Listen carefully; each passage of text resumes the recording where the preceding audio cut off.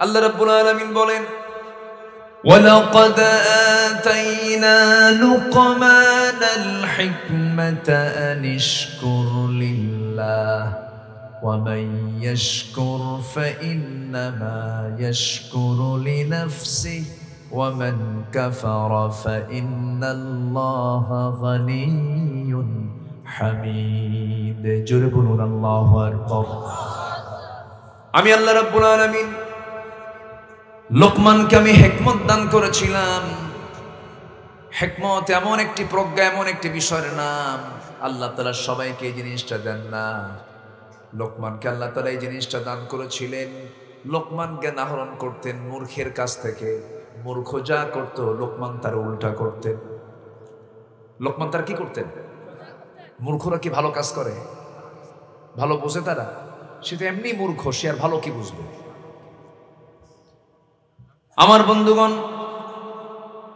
আল্লাহ তালা এই লোকটার নাম কেন নিলেন? এই লোকটার নামে কেন সুরা নাজিল করলেন? আমি আজকে আপনাদের সামনে আলোচনা করতে এসেছি। আপনারা আলোচনা শুনতে এসেছেন, কোরআন থেকে কথা বলতেছি আমি। হয়তো আমার বক্তৃতা আজ থেকে হয়তো বিশ বছর, তিরিশ বছর, পঞ্চাশ বছর, নয় একশো বছর পর্যন্ত মানুষ স্মরণ করবে, মনে রাখবে। কিন্তু এক সময় দেখা যাবে আমি হেরে গেছি, আমার সেই শোনার জন্য সেই লোকগুলো আর নাই। আমার ওয়াজ এই পর্যন্ত সীমাবদ্ধ থেকে যাবে। কিন্তু সেই দিনে লোকমান কি এমন ওয়াজ করেছেন যার ওয়াজটা আল্লাহ তালা নিজেই পছন্দ করে বলছেন, লোকমান, আমি তোমার ওয়াজটা কোরআনে কেরিমের মধ্যে কোট করে দিলাম। যেরকম সুবাহান আল্লাহ সে ওয়াজগুলো আমরা শুনব। শুনতে রাজি আছি তো ইনশাআল্লাহ? লোকমান তার নিজে ওয়াজ করেছেন তিনি কি ওয়াজ করেছেন কোন মাহফিলে যান নাই পাবলিক প্লেসে যান নাই কোন সামাজিক কোন মিটিং এ যান নাই তিনি যে ওয়াজগুলো করেছেন সে ওয়াজটা করেছেন কোথায় তিনি সুন্দর করে আল্লাহ তাআলা তার বিষয়টা কথা বলছেন وإذ قال لقمان لابنه وهو يعظه يا بني لا تشرك بالله إن الشرك لظلم عظيم জোরে বলুন আল্লাহু আকবার সেই সময়ের কথা যে সময় লোকমান তার সন্তানদেরকে বলেছিলেন ওহো ইয়াইদহু এবং নসিহত করেছেন তার সন্তানদেরকে ইয়া বুনাইয়া হে আমার কলেজার টুকরা হে আমার আদরের দুলাল, সন্তানগুলো তো শিরিক বিল্লা শিরিক করো না, কার সাথে? আসতে বলবেন না, কার সাথে বলেন? তাহলে আজকে যে শিরকের যে আমরা চিত্রগুলো দেখতে পাই, শিরকের কাজ, আজ কি চলছে না আগের থেকে আছে? আগের থেকে আসে না নাই? আচ্ছা। সন্তানকে কি নসিহত দিতে হবে? এখানে যারা বসে আছি, কেউ পিতা হয়ে বসে আছি, কেউ দাদা হয়ে বসে আছি, কেউ যুবক অবিবাহিত হয়ে এখানে বসে আছে, অবিবাহিত অবস্থায় বসে আছি, কেউ শিশু অবস্থায় বসে আছি, কেউ শিশু, সে একদিন বাবা হবে, আবার যুবক একদিন সে বিয়ে করে বাবা হয়ে যাবে। অনেকে বাবা হয়েছেন, দাদা হয়েছেন। আল্লাহ লোকমানকে পৃথিবীর সকল পিতার মডেল বানায় বললেন তোমরা যদি লোকমানের মতো বাপ হতে পারো, লোকমানের মতো যদি উপদেশ দিতে পারো, একটা সুন্দর উপদেশ তোমাদের, এমন সুন্দর উপদেশ তোমরা যদি তোমাদের পরিবারের মাঝে দিতে পারো, সন্তানদের মাঝে দিতে পারো, সেই সমাজটাই হয়ে যাবে সোনালী সমাজ, জড়ি বলে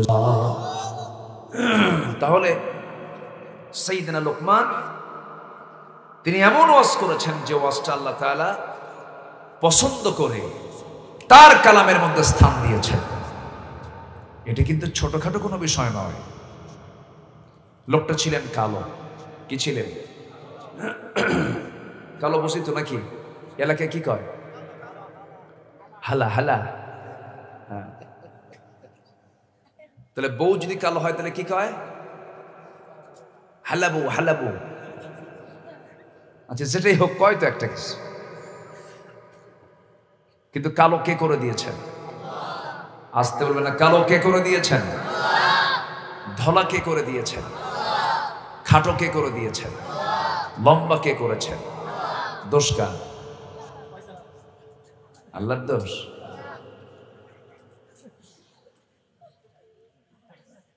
কালো সুন্দর, ধলাও সুন্দর, সবই সুন্দর। যদি আপনি মনের সৌন্দর্য দেখেন, কিসের সৌন্দর্য দিয়ে? সবই সুন্দর। আল্লাহ কাউকে সুন্দর করে বানান নাই, তিনি নিজে বলছেন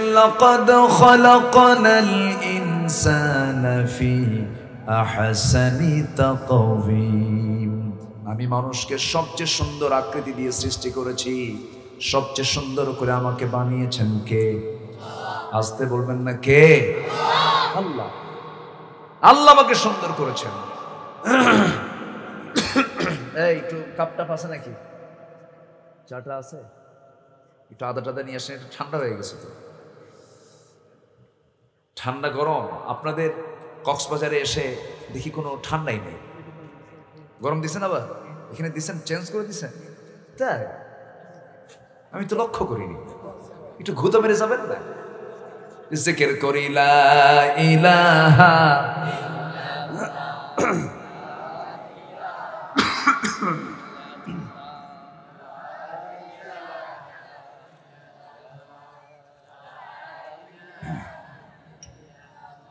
আরও জোরে ইলাহা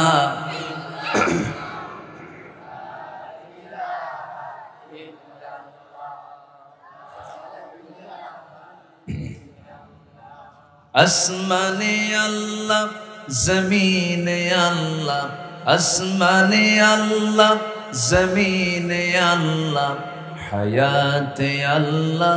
মোতে আল্লাহ লা ইলাহা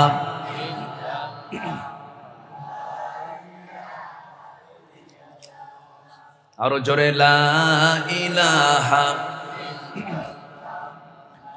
লা ইলাহা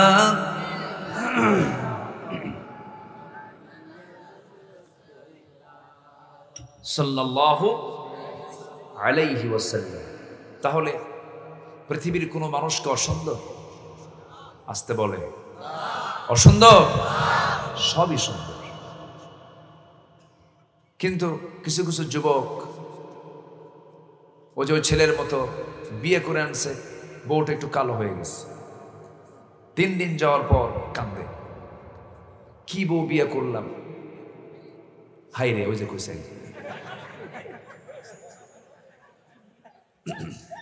কি বউ বিয়ে করলাম? কি ভুলটা করলাম আমি? লিটনের বউ দেখতে কত সুন্দর, আমি কি নিয়ে আসলাম? দেখছেন, ওর নজর গেছে লিটনের বউয়ের দিকে। কি আসে না নাই বলে? তাহলে অন্যের বইয়ের দিকে নজর গেলে নিজের বউ কি কখনো সুন্দর হবে? বলেন, সুন্দর হবে? সুন্দর খুঁজতে হলে সুন্দর মানুষ হতে হবে। কি মানুষ হতে হবে? সুন্দর মানুষ, চরিত্রবান মানুষ হতে হবে। সবই সুন্দর। সেইদিনা বেলাল ছিলেন কালো মানুষ। আমার নবীর একজন প্রিয় সাহাবি সাদ ছিলেন একজন কালো মানুষ। এইদিকে লোকমান ছিলেন একজন কালো মানুষ। তিনটা কালোর কথা। তিনজন কালো ছিলেন ফেমাস মানুষ। বেলালের নাম সবাই জানেন। লোকমানের নাম সবাই জানেন। তিনি এত কালো ছিলেন। খাটো মানুষ ছিলেন। নাকটা ছিল বচা বচা, ঠোঁটটা ছিল মোটা মোটা, দাঁতগুলো ছিল এলোমেলো, ফাঁকা ফাঁকা। পায়ের গোড়ালি ছিল ফাটা। শীতকালে অনেকের পা ফেটে যায় আসে না? পা ফেটে যায়, লেপে, ঘুমালে পরে লেপের কাপড় ঠিক থাকে না সিনে যায়। সিনে যায় না? সকালবেলা বউ যখন লেপটা গোছাতে নেয় মাথায় হাত দে বলে কত আর সিলাই দেব? আছে না কত আর সিলাই দেব? সেইদিন লোকমান এমন কালো মানুষ ছিলেন, দেখতে শুনতে তেমন সুন্দর ছিলেন না, কিন্তু লোকমানকে আল্লাহ তালা এমন সম্মান দান করেছেন, এত মর্যাদা দিয়েছেন। শুধু তার নামটাই নয়, তার ওয়াজগুলো কোরআনে কেরিমের মধ্যে কোট করে দিয়েছেন। সন্তানদেরকে তিনি মোট তেরোটা নসিহত দিয়েছেন। কয়টা নসিহত? তেরোটা। এর মধ্যে আমি একটা কেবল বলেছি, হে আমার কলিজার টুকরা সন্তান, তোমরা কি করো না? বলেন, তোমরা কি করো না? শিরিক করো না। শিরিকের ধারে পাশে যেও না। আজকে সমাজে কি শিরিক আছে? আসতে বলবে না, শিরিক কে আছে? শিরিক কাকে বলে? যদি প্রশ্ন করা হয় শিরিকের ব্যাখ্যা, শিরিকের এক্সপ্লেন শিরকে নিয়ে যদি আমি কথা বলতে যাই, বহু সময় লেগে যাবে। তবে এক কথায়, শিরকের সংজ্ঞা হলো, আল্লাহকে বাদ দিয়ে বান্দা যে কাজ করে, যে কাজে আমার আল্লাহ তালা নাই, যে কাজে আমার আল্লাহর বিধান নাই, যে কাজে আমার আল্লাহ তালার কোনো হুকুম নাই, বান্দা যে কাজ করতে গিয়ে আল্লাহকে মাইনাস করে সেটাই কি? আসতে বলবেন সেটা কি? গ্রামের মানুষ কিন্তু হঠাৎ করে বলে ফেলে, সকালবেলা বাকি দেওয়া যাবে না। আছে এরকম কথা? আচ্ছা বাকি দিলে কি গুণা হয়? না সব হয়? সবই তো হওয়ার কথা। আপনি উপকার করছেন একজন কিন্তু এখন কি বাকি দেওয়া নিরাপদ না বিপদ? হ্যাঁ? বিপদ। বিপদ। বাকি দিবেন তো বিপদে পড়বেন। আবার লেখাও থেকে, বাকি চাহিয়া লজ্জা দিবেন না। আছে না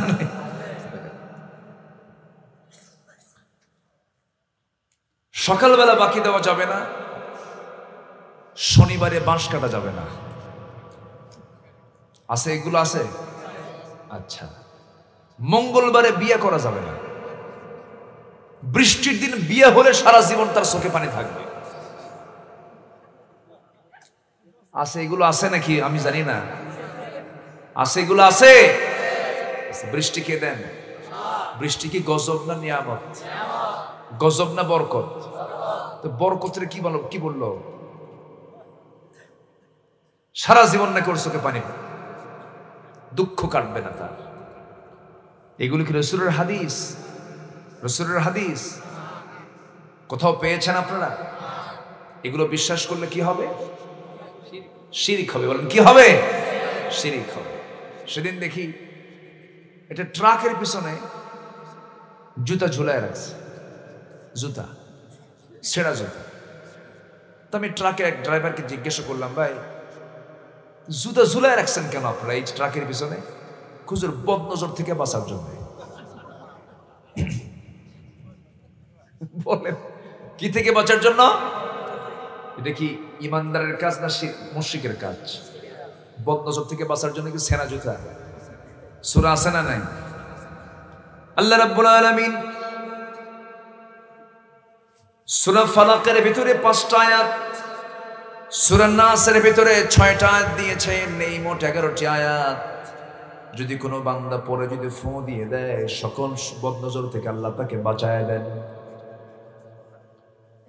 যে কোনো জাদু যে কোনো বান যে কোনো কুফুরি কালাম যদি আপনার উপরে করে ফেলে দেয়, গোটা পৃথিবীর যত কারবার আছে, এর মধ্যে শ্রেষ্ঠ কারবার হলো আল্লাহ তালা আল্লাহর কালামে বান্দাকে শিখিয়ে দিয়েছেন, এই চিকিৎসা তোমরা নিয়ে নাও।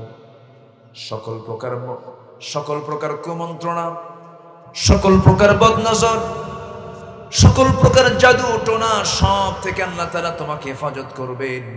যারা পারেন ছোট মিলিয়ে বলুন কুল আউযু বিরাব্বিল ফালাক মিন শাররি মা খালাক ওয়া মিন শাররি গাসিকিন ইযা ওয়াকাব ওয়া মিন শাররি নাফাথাতি ফিল উকাদ ومن شر حاسد إذا حسد قل أعوذ برب الناس ملك الناس إله الناس من شر الوسواس الخناس.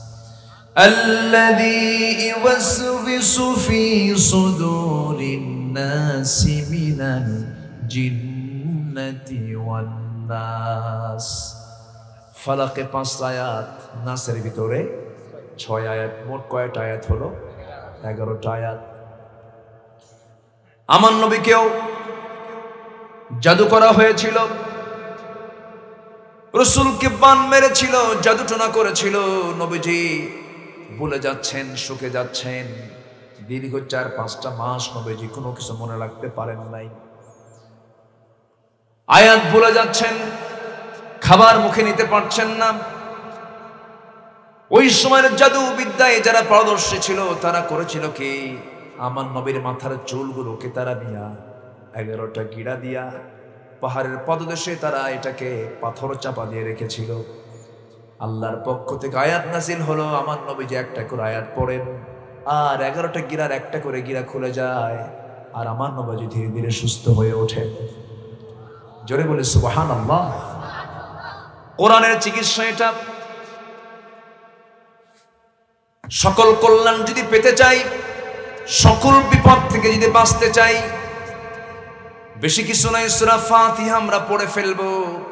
সুরা ফাতিহা পড়ার পরে আমরা পড়ব সবাই বলুন, কুল হুয়াল্লাহু আহাদ আল্লাহুস সামাদ, লাম ইয়ালিদ ওয়া লাম ইউলাদ ওয়া লাম ইয়াকুল লাহু কুফুয়ান আহাদ।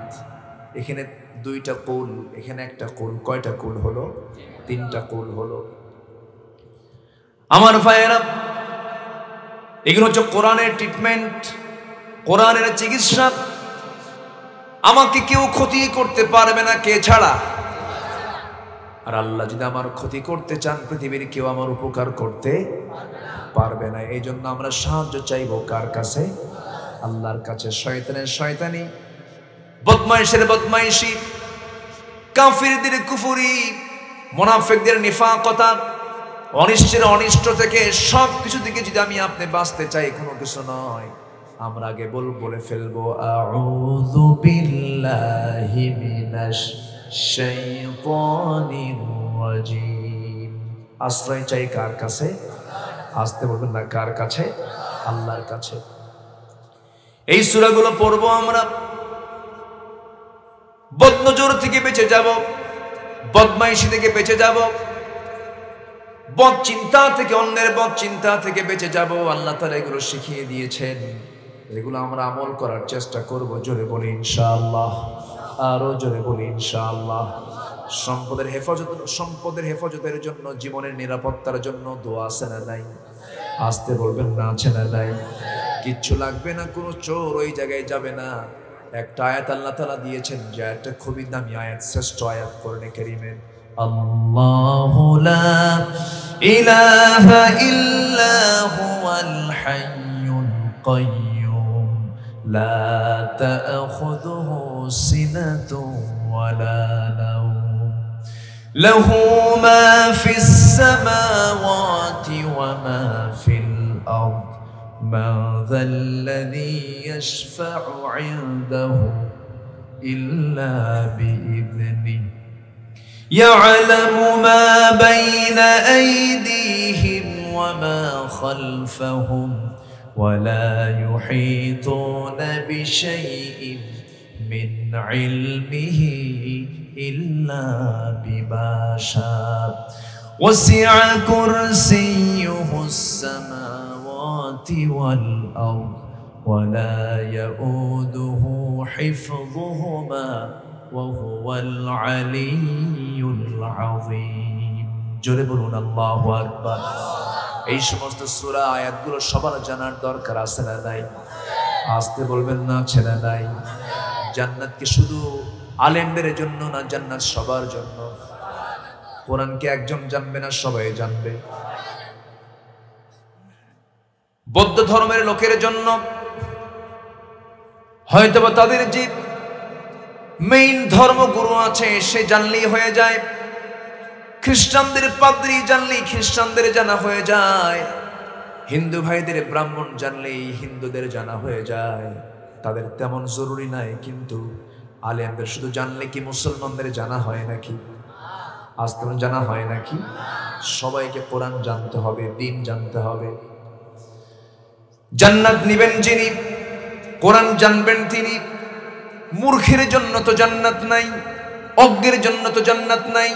আল্লাহ তালা জাহালাতকে কত ঘৃণা করে বলেছেন ইমানদারকে লক্ষ্য করে বলছেন وعباد الرحمن الذين يمشون على الأرض هونا وإذا خاطبهم الجاهلون قالوا সালামা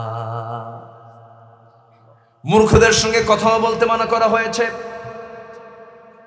মূর্খতা একটা বড় অভিশাপ। আজকে আমার দেশে আঠারো কোটি মুসলমান, কিন্তু আমার বুকটা পড়ে যায়, আমার হৃদয়টা খান খান হয়ে যায় যখন একটা মাহফিল। আমি যদি বলি, কয়জন আছেন কোরআনটাকে সহি করে পড়তে পারেন? হাতের সংখ্যা বেশি উঠবে নাকি? দিলটা আমার অস্থির হয়ে যায় এই চিন্তা করলে। আজকে শিক্ষা ব্যবস্থার মধ্যে কত ত্রুটি আমি মালয়েশিয়াতে গিয়েছিলাম। ছোট্ট ছোট্ট বাচ্চাগুলো সব সহি করে কোরআন তালাওয়াত করতে পারে। প্রত্যেকটা মুসল্লি নামাজ পড়ানোর যোগ্যতা রাখে। একটা সিলেবাসের মধ্য দিয়ে স্কুলে পড়ুক, মাদ্রাসায় পড়ুক, যেখানেই পড়ুক না কেন, যেই দেশে পঁচানব্বই পার্সেন্ট মুসলমান, সেই দেশের প্রত্যেকটা নাগরিকের, প্রত্যেকটা মুসলমানের কোরআন শিক্ষাটা অতিরিক্ত করা দরকার না, বাধ্যতামূলক করা দরকার।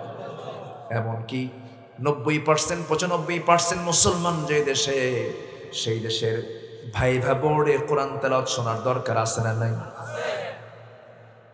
বিসিএস ক্যাডার হবে। সেই লোকটাকে ভাইভা বোর্ডে প্রশ্ন করা উচিত, দেখি তুমি সুরা ফালাক তেলাওয়াত করো, সুরা ফাতিহা তেলাওয়াত করো। কিন্তু যদি এই ভাইভা বোর্ডে যদি এরকম না হয়, সুরা ফাতিহা তুমি পড়ো তো সুরা ফাতিয়ার যে কয়টা আয়াত আছে, তার চাইতে ডাবল ভুল হবে। কি ঠিক কিনা? কারণ শিক্ষা ব্যবস্থার মধ্যে সহি তেলাওয়াত করার কোনো সিস্টেম অথচ নামাজ পড়ার শর্ত হলো কোরআনটাকে সহি করা না গলত পড়া। বলেন কেন? বলেন না কেন? কি কি করে পড়া? রুব্বা কারিন লিল কোরআন ওয়াল কোরআন ইয়ালানুহু। কোরআনটাকে যে সহি করে পড়ে না, কোরআনটাকে উল্টা লানত দেয়। উল্টা কি দেয়? লানত দিচ্ছে। এত বড় জরুরি একটা শিক্ষা হলো কোরআনের শিক্ষা। সেই শিক্ষা নিয়ে কোনো কথা নাই। ক্লাস সিক্স সিলেবাসে ঢুকায় দিছে, মানুষ নাকি আগে বানর ছিল। মাইকলা কি করে? ঘুম নাকি? জেগে আছেন? ইকো টিকো দিয়েন না, ইকো কম ইকো রিভার দিয়েন না, যেন কথাগুলো স্পষ্ট শোনা যায়। আমার কথাকে রাগ করতেছেন আপনারা? আমি তো সোনার খিলের পুরাতন মানুষ তো। আমি এসেছি একবার, আজকে একটু ফ্রিলি আলোচনা করব। প্রয়োজনে ফজর হোক, সমস্যা ভয়টাই পেলেন নাকি আপনারা থাকতে রাজি আছি তো? বসেন। মানুষ আগে কি ছিল? কি কার বাপ ছিল বানর? কোন হাত তুলুন তো এখানে কি কারও বাপ বানর ছিল এরকম কি জানেন কেউ?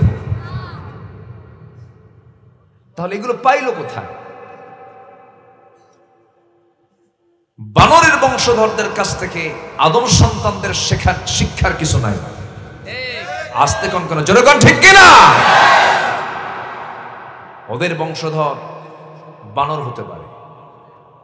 আমরা হলাম আদমের বংশধর। আমাদের বাপকে আরও জোরে। আমাদের মাকে? আমাদের বাড়ি কোথায়? শোনার কি ভালো কীরকম কোথায় বাড়ি আমাদের? বাপের ভিড়ে তো জান্নাত ছিল। ফাওয়াসওয়াসালাহুমা ফাযাল্লাহুমা শাইতান। শয়তান চলে গেছে ওই জায়গাতে। জান্নাতের মধ্যে ঢুকে গেছে। একদিন মুসা সাল্লাম তিনি জিবরাইলের সঙ্গে কথা বলছেন। হঠাৎ করে সামনে শয়তান। জিব্রাইল বলতেছে, শয়তান, তুমি আর জায়গা পারে না, নবীর কাছে আসা লাগে। শয়তান কয়, জিব্রাইল, আমি জান্নাতের মধ্যে যাইয়া জান্নাতের মধ্যে ঢুকে আদম হাওয়াকে অসহসা দিলাম। এ তো দুনিয়াতে আছে মুসা। সোনার খিলে তো শয়তান আসে না। আসতে কয়, আসে না নাই? সব জায়গায় শয়তান আছে। আছে না নাই? আচ্ছা শয়তান বড় মারাত্মক। খুব সিরিয়াস শয়তান। শয়তানে ওয়াসওয়াসা থেকে আমাদের বাঁচার দরকার আছে না নাই? আশ্রয় নেব কার কাছে? আল্লাহর কাছে। আমার ভাইয়েরা, শিক্ষার বড় অভাব আজকে মুসলমানদের যে শিক্ষাগুলো বড় জরুরি, সেই শিক্ষাগুলো আজকে সমাজে নাই। সুন্দর করে কোরআন তেলাওয়াত করতে পারে না। একজন বিসিএস ক্যাডারকে যদি প্রশ্ন করা হয় উজুর ফরজ কয়টা? বলে তেরোটা। উজুর ফরজ কি তেরোটা? ইকো তো দিয়েন না, ইকো আমি তো মানা করেছি। উজু না, উজু আগে দরকার না, নামাজ আগে দরকার? আমার দেশে কিন্তু উজু ছাড়াও নামাজ পড়ে। পানির তলে মোমবাতি বা বতসে নেভে না, বাবার নামে হালকা দিলে উজু গোসল লাগে না। মোল্লা মুন্সি নামাজ পড়ে মারে ফত্ত বোঝে না, বাবার নামে হালকা দিলে সতর ঢাকন লাগে না। যখন নামাজ এরকম এরকম ইবলিসের পাঠশালা কিন্তু চট্টগ্রাম জন্যও আছে। খাজা। আছে না নাই? দিল কর তাজা। ইসমে জালাল, গাজার কলকি খাওয়া হালাল। যেরকম নাউজুবিল্লাহ এগুলো কিন্তু কম নাই। নামাজই লাগে না আমার বন্ধুগণ, সব জেহালাত শুধু না জানার কারণে এই অবস্থাটা হয়েছে। এই জন্য কোরআন যে জায়গায় প্রথমে নাসিল হলো, কোন গুহায় বলেন? জাবেলের নূর জাবেলের নূর নামক পাহাড়ের গারে হেরার মধ্যে আল্লাহ রসুল ধ্যানমগ্ন ছিলেন। জিবরিল আমিন অ্যাট ফার্স্ট যখন নবীর সামনে গিয়ে দাঁড়িয়ে যখন তার কাছে ওহি করলেন, সে ওহিটা কিন্তু অন্য কিছু ছিল না সে ওহিটা ছিল, সবাই বলুন, ইকরা বিসমি রাব্বিকাল্লাযী খালাক, খলাকাল ইনসানা মিন আলাক। নবী, হে, আপনি পড়ুন কার নামে? আসতে বলবেন না কার নামে? যারা বলতেছে, মানুষ আগে বানর ছিল, তারা কে আল্লাহর নামে পড়ে নাকি? আল্লাহর নামে পড়লে তো অবস্থা হতো না, কারণ কোরআন তো শুধু ধর্মীয় কিতাবের নাম নয়, কোরআন দিয়ে শুধু নামাজি হবে তা তো নয়, কোরআন দিয়ে মনে রাষ্ট্র চলবে না। আসতে বলে। চলতে পারে কোরআন দিয়ে? পৌরসভা চলতে পারে? কোর্ট, কাছারি? আইন, আদালত? বিচার ব্যবস্থা? কিন্তু অনেকে তো এটা মানতে চায় না। অনেকে মানতে চায় না। বলে যে না, কোরআন ধর্মীয় কিতাব নামাজ পর্যন্ত শেষ। এরাই হলো সমাজের সবচেয়ে বড় মুনাফিক।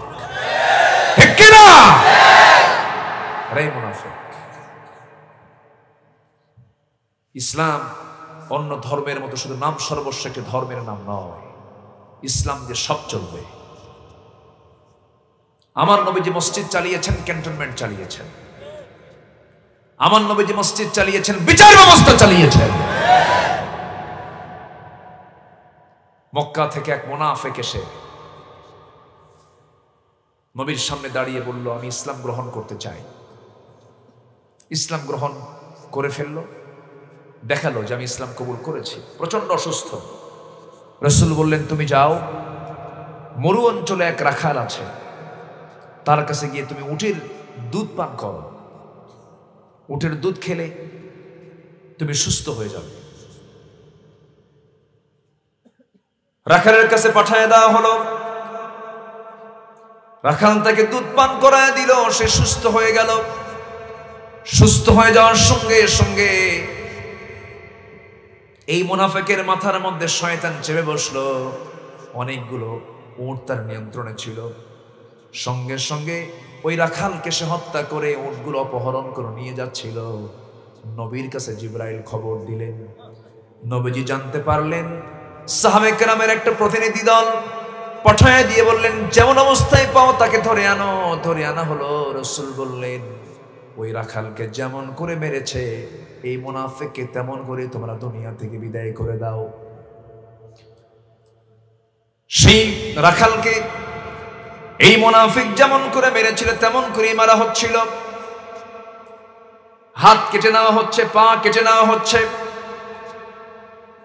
সেই সময় তপ্ত মরুর ভিতরে সে যখন বারবার পানি চাচ্ছিল, রসুলকে বলা হলো, ইয়া রসুল আল্লাহ সে তো পানির জন্য ছটফট করছে।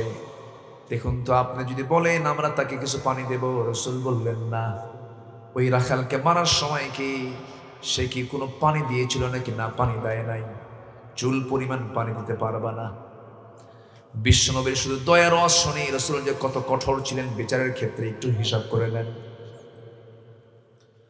আমার নবীজি পানি দিতে মানা করলেন। ইতিহাসে এসেছে,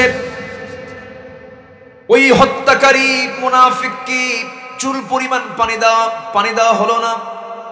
এক পর্যায়ে ওই বেচারি, ওই মুনাফেক, ওই হত্যাকারী মরুভূমির বালুগুলো চাটতে চাটতে শেষ পর্যন্ত দুনিয়া থেকে বিদায় হয়ে গেল। রসুল শেষ পর্যন্ত বললেন, না না, যারা অপরাধ করবে, যারা ক্রাইম করবে, যারা ডাকাতি করবে, যারা সমাজ ব্যবস্থা ধ্বংস করে ফেলবে, যারা মানুষকে হত্যা করবে, তাদের সঙ্গে কোনো আপোষ রসুল বিচারও করেছেন, কি দিয়া? আসতে কি দিয়া? কোরআন দিয়ে নামাজ পড়ো, সমাজ কেন গড়ো না? কোরআন দিয়ে নামাজ পড়ো, সমাজ কেন গড়ো না? ও নামাজি, নামাজ পড়ো, সমাজ কেন গড়ো না? কোরআন যদি দিয়ে যদি আজকে সমাজ বিনির্মাণ হতো, সমাজে কি এই চিত্র আমাদের দেখা লাগতো? দেখা লাগতো? কি হয় না আজকের সমাজে বলেন? কি হচ্ছে না? এলাকায় কি সুদের কারবার আছে? আছে? সুদ খাওয়া কি? আরও জোরে। আরও জোরে। মদের বোতল আছে? মদ খাওয়া কি? জেনার কারবার আছে? জেনা করা কি? জুয়া খেলা আছে? আছে? জুয়া খেলা কি? হারাম। তাহলে আমরা মুসলমান সুদ আছে, মদ আছে জেনা আছে, জুয়াও আছে। জুয়া বুঝিত নাকি? ও যে মোনাজাত ধরে, মোনাজাত। কি কথা কি বুঝতেছেন আপনারা? হ্যাঁ। কঠিন মোনাজাত ওরা। হ্যাঁ? শোনেন, এই সময় কেউ উঠেন না। উঠলি ভাববো এগুলো মোনাজাত গ্রুপ বসেন। উঠলি ভাববো ওটা সুদ খায়। রাগ করতেছেন নাকি আপনারা? বসেন। ওয়াজ তো কেবল শুরু হবে সমাজ থেকে হাজার বছর ওয়াজ করে আপনি সুদ বন্ধ করতে পারবেন না। শুধু ওয়াজ করে আপনি জেনা বন্ধ করতে পারবেন না। শুধু ওয়াজ করে আপনি মদের বোতল, মদের দোকান বন্ধ করতে পারবেন না। এগুলোর জন্য নির্দিষ্ট পন্থা ইসলামে আছে না নাই? আসতে বলবেন না আছে না নাই। মদ খেলে তার শাস্তি কি কোরআন দিয়েছে? আসতে, দিয়েছে। ওটা কি শুধু তেলতি রাখব আমরা? চোর চুরি করলে হাত কেটে দাও। কোরআনে আসে না নাই?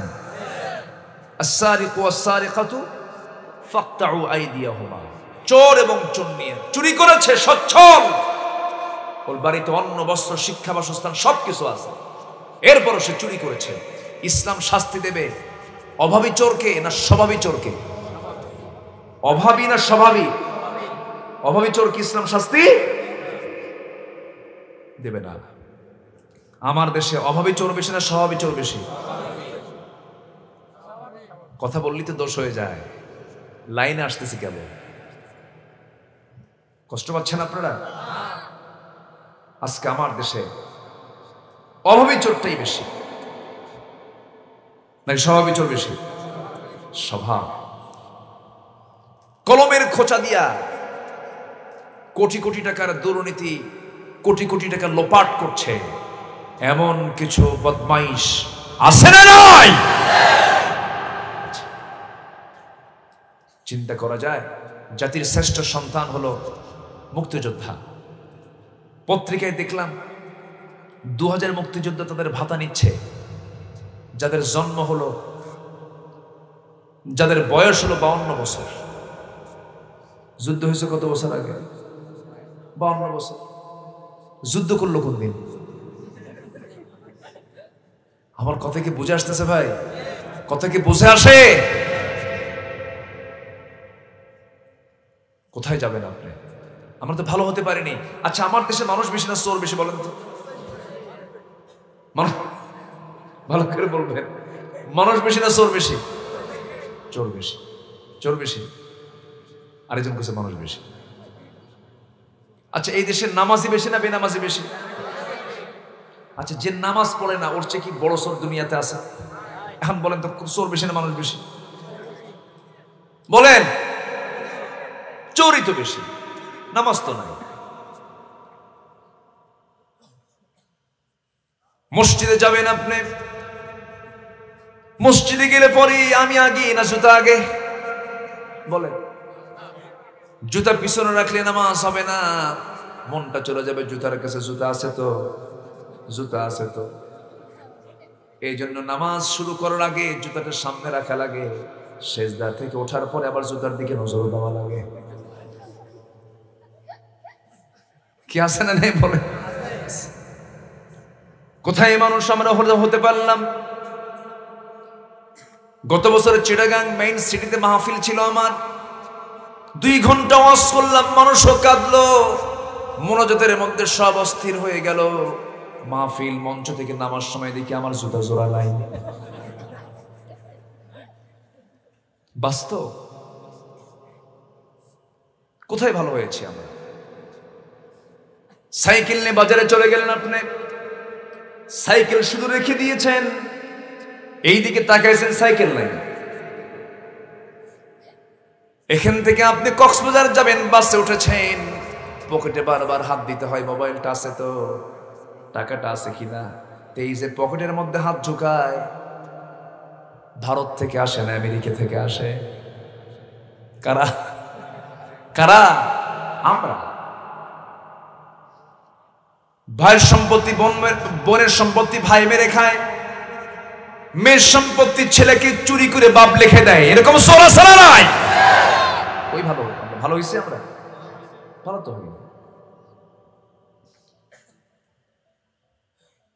সেই বোন, সে বাপ মারা গেছে কোন দিন? এত আগে বাপ মারা গেল। এত আগে বাপ মারা যাওয়ার পর এক যুগ হয়ে গেছে।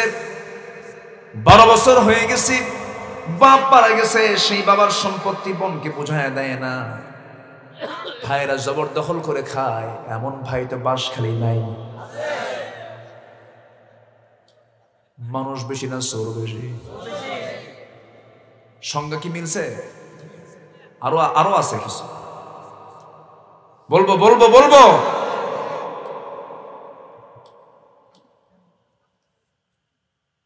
বাপ মারা গেছে। ধানি জমি দশ বিঘার তিন বিঘা বনটা পাবে। ভাইটা পাচ্ছে, ভাইটা তার অংশ নিয়েছে, কিন্তু বনের সম্পত্তি বুঝে দেয় না। বনটাকে বছরে দুইবার করে দাওয়াত দেয়। দুইবার করে দাওয়াত দিয়ে বাড়িতে নিয়ে আসে, পিঠা খাওয়ায় রান্না বান্না করে খাওয়ায়। মাঝে মাঝে সুন্দর করে হাসি খুশি করে বোনের পাশে বসে বলে, শোনো, আমি তোমার ছোট ভাই, অথবা আমি তোমার বড় ভাই। আব্বা মারা গেছে বহু আগে। জমা জমি কিছু রেখে গেছে, বোন আমার, তুমি কিছু অংশ পাবে। তবে একটা কথা বলি, বোন, রাগ করবা নাকি অংশ নিলে কিন্তু ধ্বংস হয়। কি ফতুয়া মানলো দেখছে এটিকে কোরআন থেকে আসা না শয়তান থেকে আসা? মানুষ বেশি না সর বেশি? আমার ভাইয়েরা, এই জন্য আমাকে আপনাকে ভালো হতে হবে। আগে ভালো মানুষ হতে হবে। জ্ঞানী হতে হবে, জ্ঞান অর্জন করতে হবে, জানতে হবে, বুঝতে হবে। জন্ম সূত্রে মুসলমান, এই সূত্র দিয়ে আমি আপনি জান্নাত পাবো না। জান্নাত পাওয়ার জন্য জন্মের সূত্র দরকার না, ইসলাম থাকা দরকার। কি থাকা দরকার বলেন? ইসলাম থাকা দরকার। সেই দিনে লোকমান কেমন আপনার জন্য?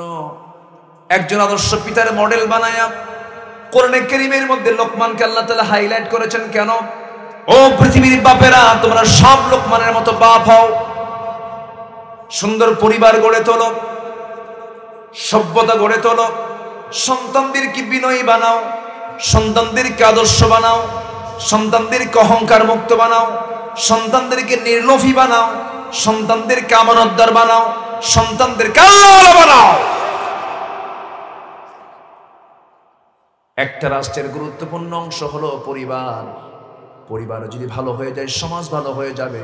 সমাজ যদি ভালো হয়ে যায়, রাষ্ট্র ভালো হয়ে যাবে। এই জন্য পরিবারের দিকে খেয়াল করার দরকার আছে না নাই? আমি কয়েকদিন আগে টেকনাফ মাহফিল ছিল। টেকনাফ, এই দিকই তো না? কোন দিক? আমি যে কোন দিকে আসি আল্লাহ জানে।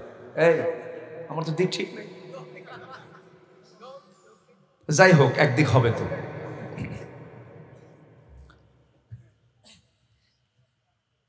সেই টেকনাফে আমি একটি আদর্শ পরিবারের কি কি বৈশিষ্ট্য থাকা উচিত কোরআন এবং হাদিসের আলোকে?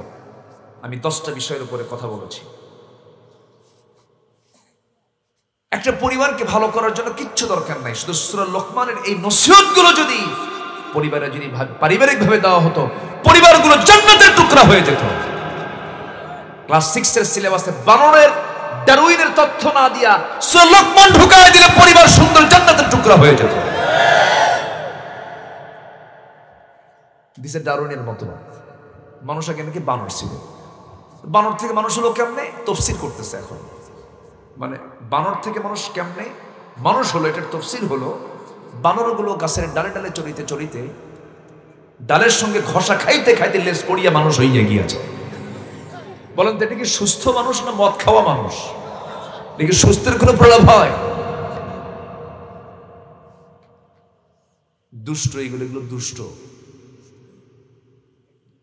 সম্মানিত ভাইয়েরা লোকমান আলী সালাতাম তার সন্তানকে কয়টা নসিহত দিয়েছেন বলেন তো? তেরোটা। মনে আছে কি আপনাদের? বলেন, মোট কয়টি বলেন? তেরোটি। আল্লাহ তালার সবগুলোই বলে দিয়েছেন এখানে। সময়, সব দিকে আমরা খেয়াল করব, দেখি কতটুকু আমরা আগাতে পারি। আল্লাহ রাব্বুল আলামিন সুন্দর করে বলছেন, আমার পছন্দের গোলাম লোকমান তার সন্তানদেরকে কি নসিহত দিয়েছে তোমরা শোনো? এক নাম্বার, তিনি সন্তানকে বলছেন, লা তো শিরিক বিল্লাহ, শিরিকের কাছে যাবে না। শিরিকের গুণা মস্ত বড় গুণা সবচেয়ে বড় জুলুম এটা। ইন্না শিরকে লাযুলমুন আযীম, সবচেয়ে বড় জুলুম এটা। সকল গুনাহ মাফ হবে। আল্লাহ বলছেন, বান্দা, তোমার যত গুনাহ, সব গুনাহ তুমি করে এসেছ, আমার কাছে কোনো সমস্যা নাই। আনানাস সামা বিকরাবিল আরদিল খাতায়া। তোমার গুণা দিয়ে জমিন সেয়ে গেছে, তোমার গুণা দিয়ে আকাশ ভরে গেছে, কোনো প্রবলেম নাই। আল্লাহ তো শিরিক বি শাইআন, শিরিক মুক্ত হয়ে তুমি আমার কাছে আসো, আমি তোমার সমস্ত গুণাগুলো মাফ করে আমি তোমাকে জান্নাত দিয়ে দেব। লোকমান তার সন্তানকে এক নামে নসিহত দিচ্ছেন, শিরিক করো না। এটাই সবচেয়ে বড় গুণা আলা উনাব্বিউকুম বিআকবারিল ও কি তোমাদের কি বড় বড় কবিরা গুনার কিছু সংবাদ নাকি? হ্যাঁ হুজুর, আপনি বলেন। আমার নবজিও এক নম্বর তালিকায় বললেন, আলী শরক বিল্লাহ, হুকুকুল ওয়ালিদাইন, ওয়া কাউলুজ রাসূল তিনটা কবিরা গুনার কথা হাদিসে বলেছেন। নাম্বার ওয়ান হলো, শিরিক করবে না। নাম্বার দুই হলো, পিতামাতার সঙ্গে খারাপ আচরণ করবে না। নাম্বার তিন হলো, বাজে কথা মুখ থেকে বলবে না। এই তিনটা কিন্তু বড় বড় কবিরা গুণা এই তিনটা বড় কবিরা গুণা আজকে সমাজে আসে না নাই? শিক্ষার যে হার আজ থেকে দশ বছর আগে ছিল, এখন শিক্ষার হার কমছে না, বাড়ছে। বলেন বলেন বলেন। কমেছে না, বেড়েছে বেড়েছে, কিন্তু বাপ মার সেবার হার কমছে না, বাড়ছে। এটি কি শিক্ষা হলো? বানর মার্কা শিক্ষা। ওহির শিক্ষা পেলে পরে এরকম তো হতো না। আমি নিজের চোখে বৃদ্ধাশ্রম দেখেছি গাজীপুরে। বৃদ্ধাশ্রমে বুড়া মানুষগুলো সেই জায়গায় বসে আছে, পড়ে আছে। অধিকাংশ বৃদ্ধাশ্রমে যারা সেখানে পড়ে আছে, আমি কসম করে বললাম, আল্লাহর কসম করে বলছি, হলফ করে বলছি, পৃথিবীর কোনো বৃদ্ধাশ্রমে আপনি আলেমের বাপকে পাবেন না, হাফেজের মাকে পাবেন না। ওই জায়গায় সেই সমস্ত বাপ মা গুলো পড়ে আছে যারা কোরআন এবং হাদিসের জ্ঞান যারা রাখে না। সন্তানকে যদি নিজে ভালো থাকতে চান, আগে কোরআন তুলে দেন। আল্লাহওয়ালা বানান। টাকাওয়ালা বানানোর আগে। শুধু টাকাওয়ালা বানাবেন, বুড়ো বয়সের সন্তানকে দেখে আপনি বাপ ভয় পাবেন। আর আল্লাহওয়ালা বানাবেন, বুড়ো বয়সের সন্তান আপনাকে দেখে থরথর করে কাঁপবে। কারণ বাপ যদি খুশি হয় আরও খুশি হবে, বাপ যদি নারাজ হয়, আল্লাহ নারাজ হয়ে যাবে। এই জন্য ইসলাম জানার দরকার আছে না নাই? সবার আগে না সবার পরে? সবার আগে। নামাজও তো কবুল হবে না ইসলাম না জানলে। দিন না জানলে নামাজ কবুল হবে? হবে না আগে দিন জানব আমরা। জোরে বলি, ইনশাআল্লাহ। শিরকের জ্ঞান আমাদের জানতে হবে তো। কারণ আমি শির করব, আমি নিজে টের পাবো না। শিরকের ধারে পাশে যাওয়া যাবে না, শিরকের ব্যাপারে একটা হাদিস এসেছে। পিঁপড়া হাঁটার আওয়াজ যেমন বান্দার কানে আসে না, শুনতে পায় না, বান্দা কখন শিরিক করে ফেলেছে, বান্দা নিজেও টের পায় না। আমার বন্ধুগণ, কি করে খাব আমি? এটাও কথার মধ্যে কি হলো? কি করে খাব? কিছুই তো বুঝতে, বুঝতেছি না, কি করে খাব আমি? এই কথার মধ্যে শিরকের গন্ধ আছে না, নাই? এই জাতীয় কথা কি বের হয় কিনা বলে বের হয়। অথচ আল্লাহ তাআলা নিজেই স্পষ্ট করে বলেছেন, ওমা মিন দাব্বাতিন ফিল আরদি ইল্লা আলাল্লাহি। রিজকুহা জমিনে যত বিচরণশীল প্রাণী আছে, সমস্ত প্রাণী রিস্কের দায়িত্ব কার? আসতে বলবেন না কার? আর আপনি সে আল্লাহর বান্দা হয়ে, পৃথিবীর সেরা সৃষ্টি হয়ে আপনি বলছেন, কি করে খাব আমি? কি করে? খাব আমি, চলবো আমি, এমন হতাশা আছে না নাই বলেন? আছে, যুবকরা এরকম হতাশার কোনো বাক্য তোমরা মুখ থেকে বের করবা না কখনো। শিরকের কথা এগুলো। মুখ বানিয়েছেন যিনি খাবে না! যিনি আমাকে সৃষ্টি করেছেন, তার চিন্তায় সবচাইতে বেশি। যিনি আমাকে আমার মার পেটের মধ্যে নয়টি মাস আমি খেতে পারি না, আমাকে খাওয়ায় দিয়েছেন। সেই মার পেটের মধ্যে আমার চুলগুলো বড় করে দিয়েছেন, চোখটা সুন্দর করে দিয়েছেন, হাত, পা, নখ সব কিছু দিয়ে দিয়েছেন। সুবাহান দুনিয়ার যে কোনো ফ্যাক্টরি কোনো কিছু তৈরি করতে গেলে পর্যাপ্ত আলোর প্রয়োজন হয়। আলো ছাড়া কোনো কিছু প্রোডাকশন সেখানে তৈরি হয় না। কিন্তু আল্লাহ তালা আমাকে এমন ফ্যাক্টরির মধ্যে নয়টা মাসে রেখেছিলেন, যে জায়গায় কোনো আলোর ব্যবস্থা নাই, নিকশ কালো, ঘন অন্ধকার। কিন্তু আমার আল্লাহ সুন্দর করে মাথা থেকে পা পর্যন্ত সব সুন্দর করে বানিয়ে দিয়েছেন। জোরে বলে সুবহান আল্লাহ কি দেন নাই তিনি মাথা থেকে পা পর্যন্ত? দেখুন, একটু আল্লাহ তালা বান্দাকে নিজেই দেখতে বলছেন, অফি আনফুসিকুম, আফালা তুবসিরুন বান্দা তোমার নিজের দিকে তাকায় দেখো, মাথা থেকে পা পর্যন্ত নিখুঁত করে আমি তোমাকে বানিয়েছি। কোনো কিছু আমি শর্ট রাখি না। আমি যদি মার পেটের মধ্যে, ওই সুরক্ষিত জায়গার মধ্যে যদি আমি তোমাকে খাওয়াতে পারি, দুনিয়ার সমস্ত কিছুর ব্যবস্থাপনাও কার আসতে বলবেন না কার? মানুষ খাবার মুখে নাই দুই ভাবে, একটা হলো নাক দিয়ে আর একটা হলো মুখ দিয়া। মুখের খাবার, এই যে আমরা তরি তরকারি এগুলো খাবারগুলো আমরা সুন্দর করে আবাদ করে আবার আমরা খাই, ঠিক আছে? চেষ্টা করলে চেষ্টা না করলে তো খাবার আসবে না, ভালো কথা। কিন্তু মুখের খাবার আগে দরকার না নাকের খাবার আগে দরকার? কোনটা? নাকের খাবার এখানে আসে না নাই? কে খাওয়াচ্ছেন বলেন। কে খাওয়াচ্ছেন? সূর্যের খাবার দরকার আছে না নাই? সূর্যের আলোটা কে দিচ্ছেন? সূর্যের সূর্যের ট্যাক্স কত?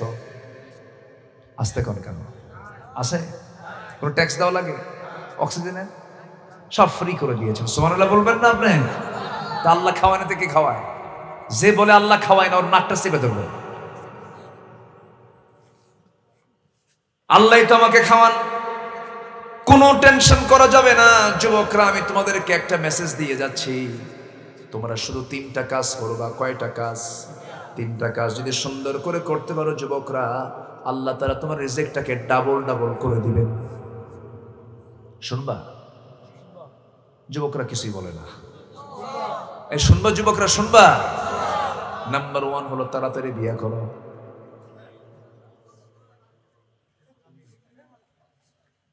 বিয়ে করছ? বিয়ে করছ?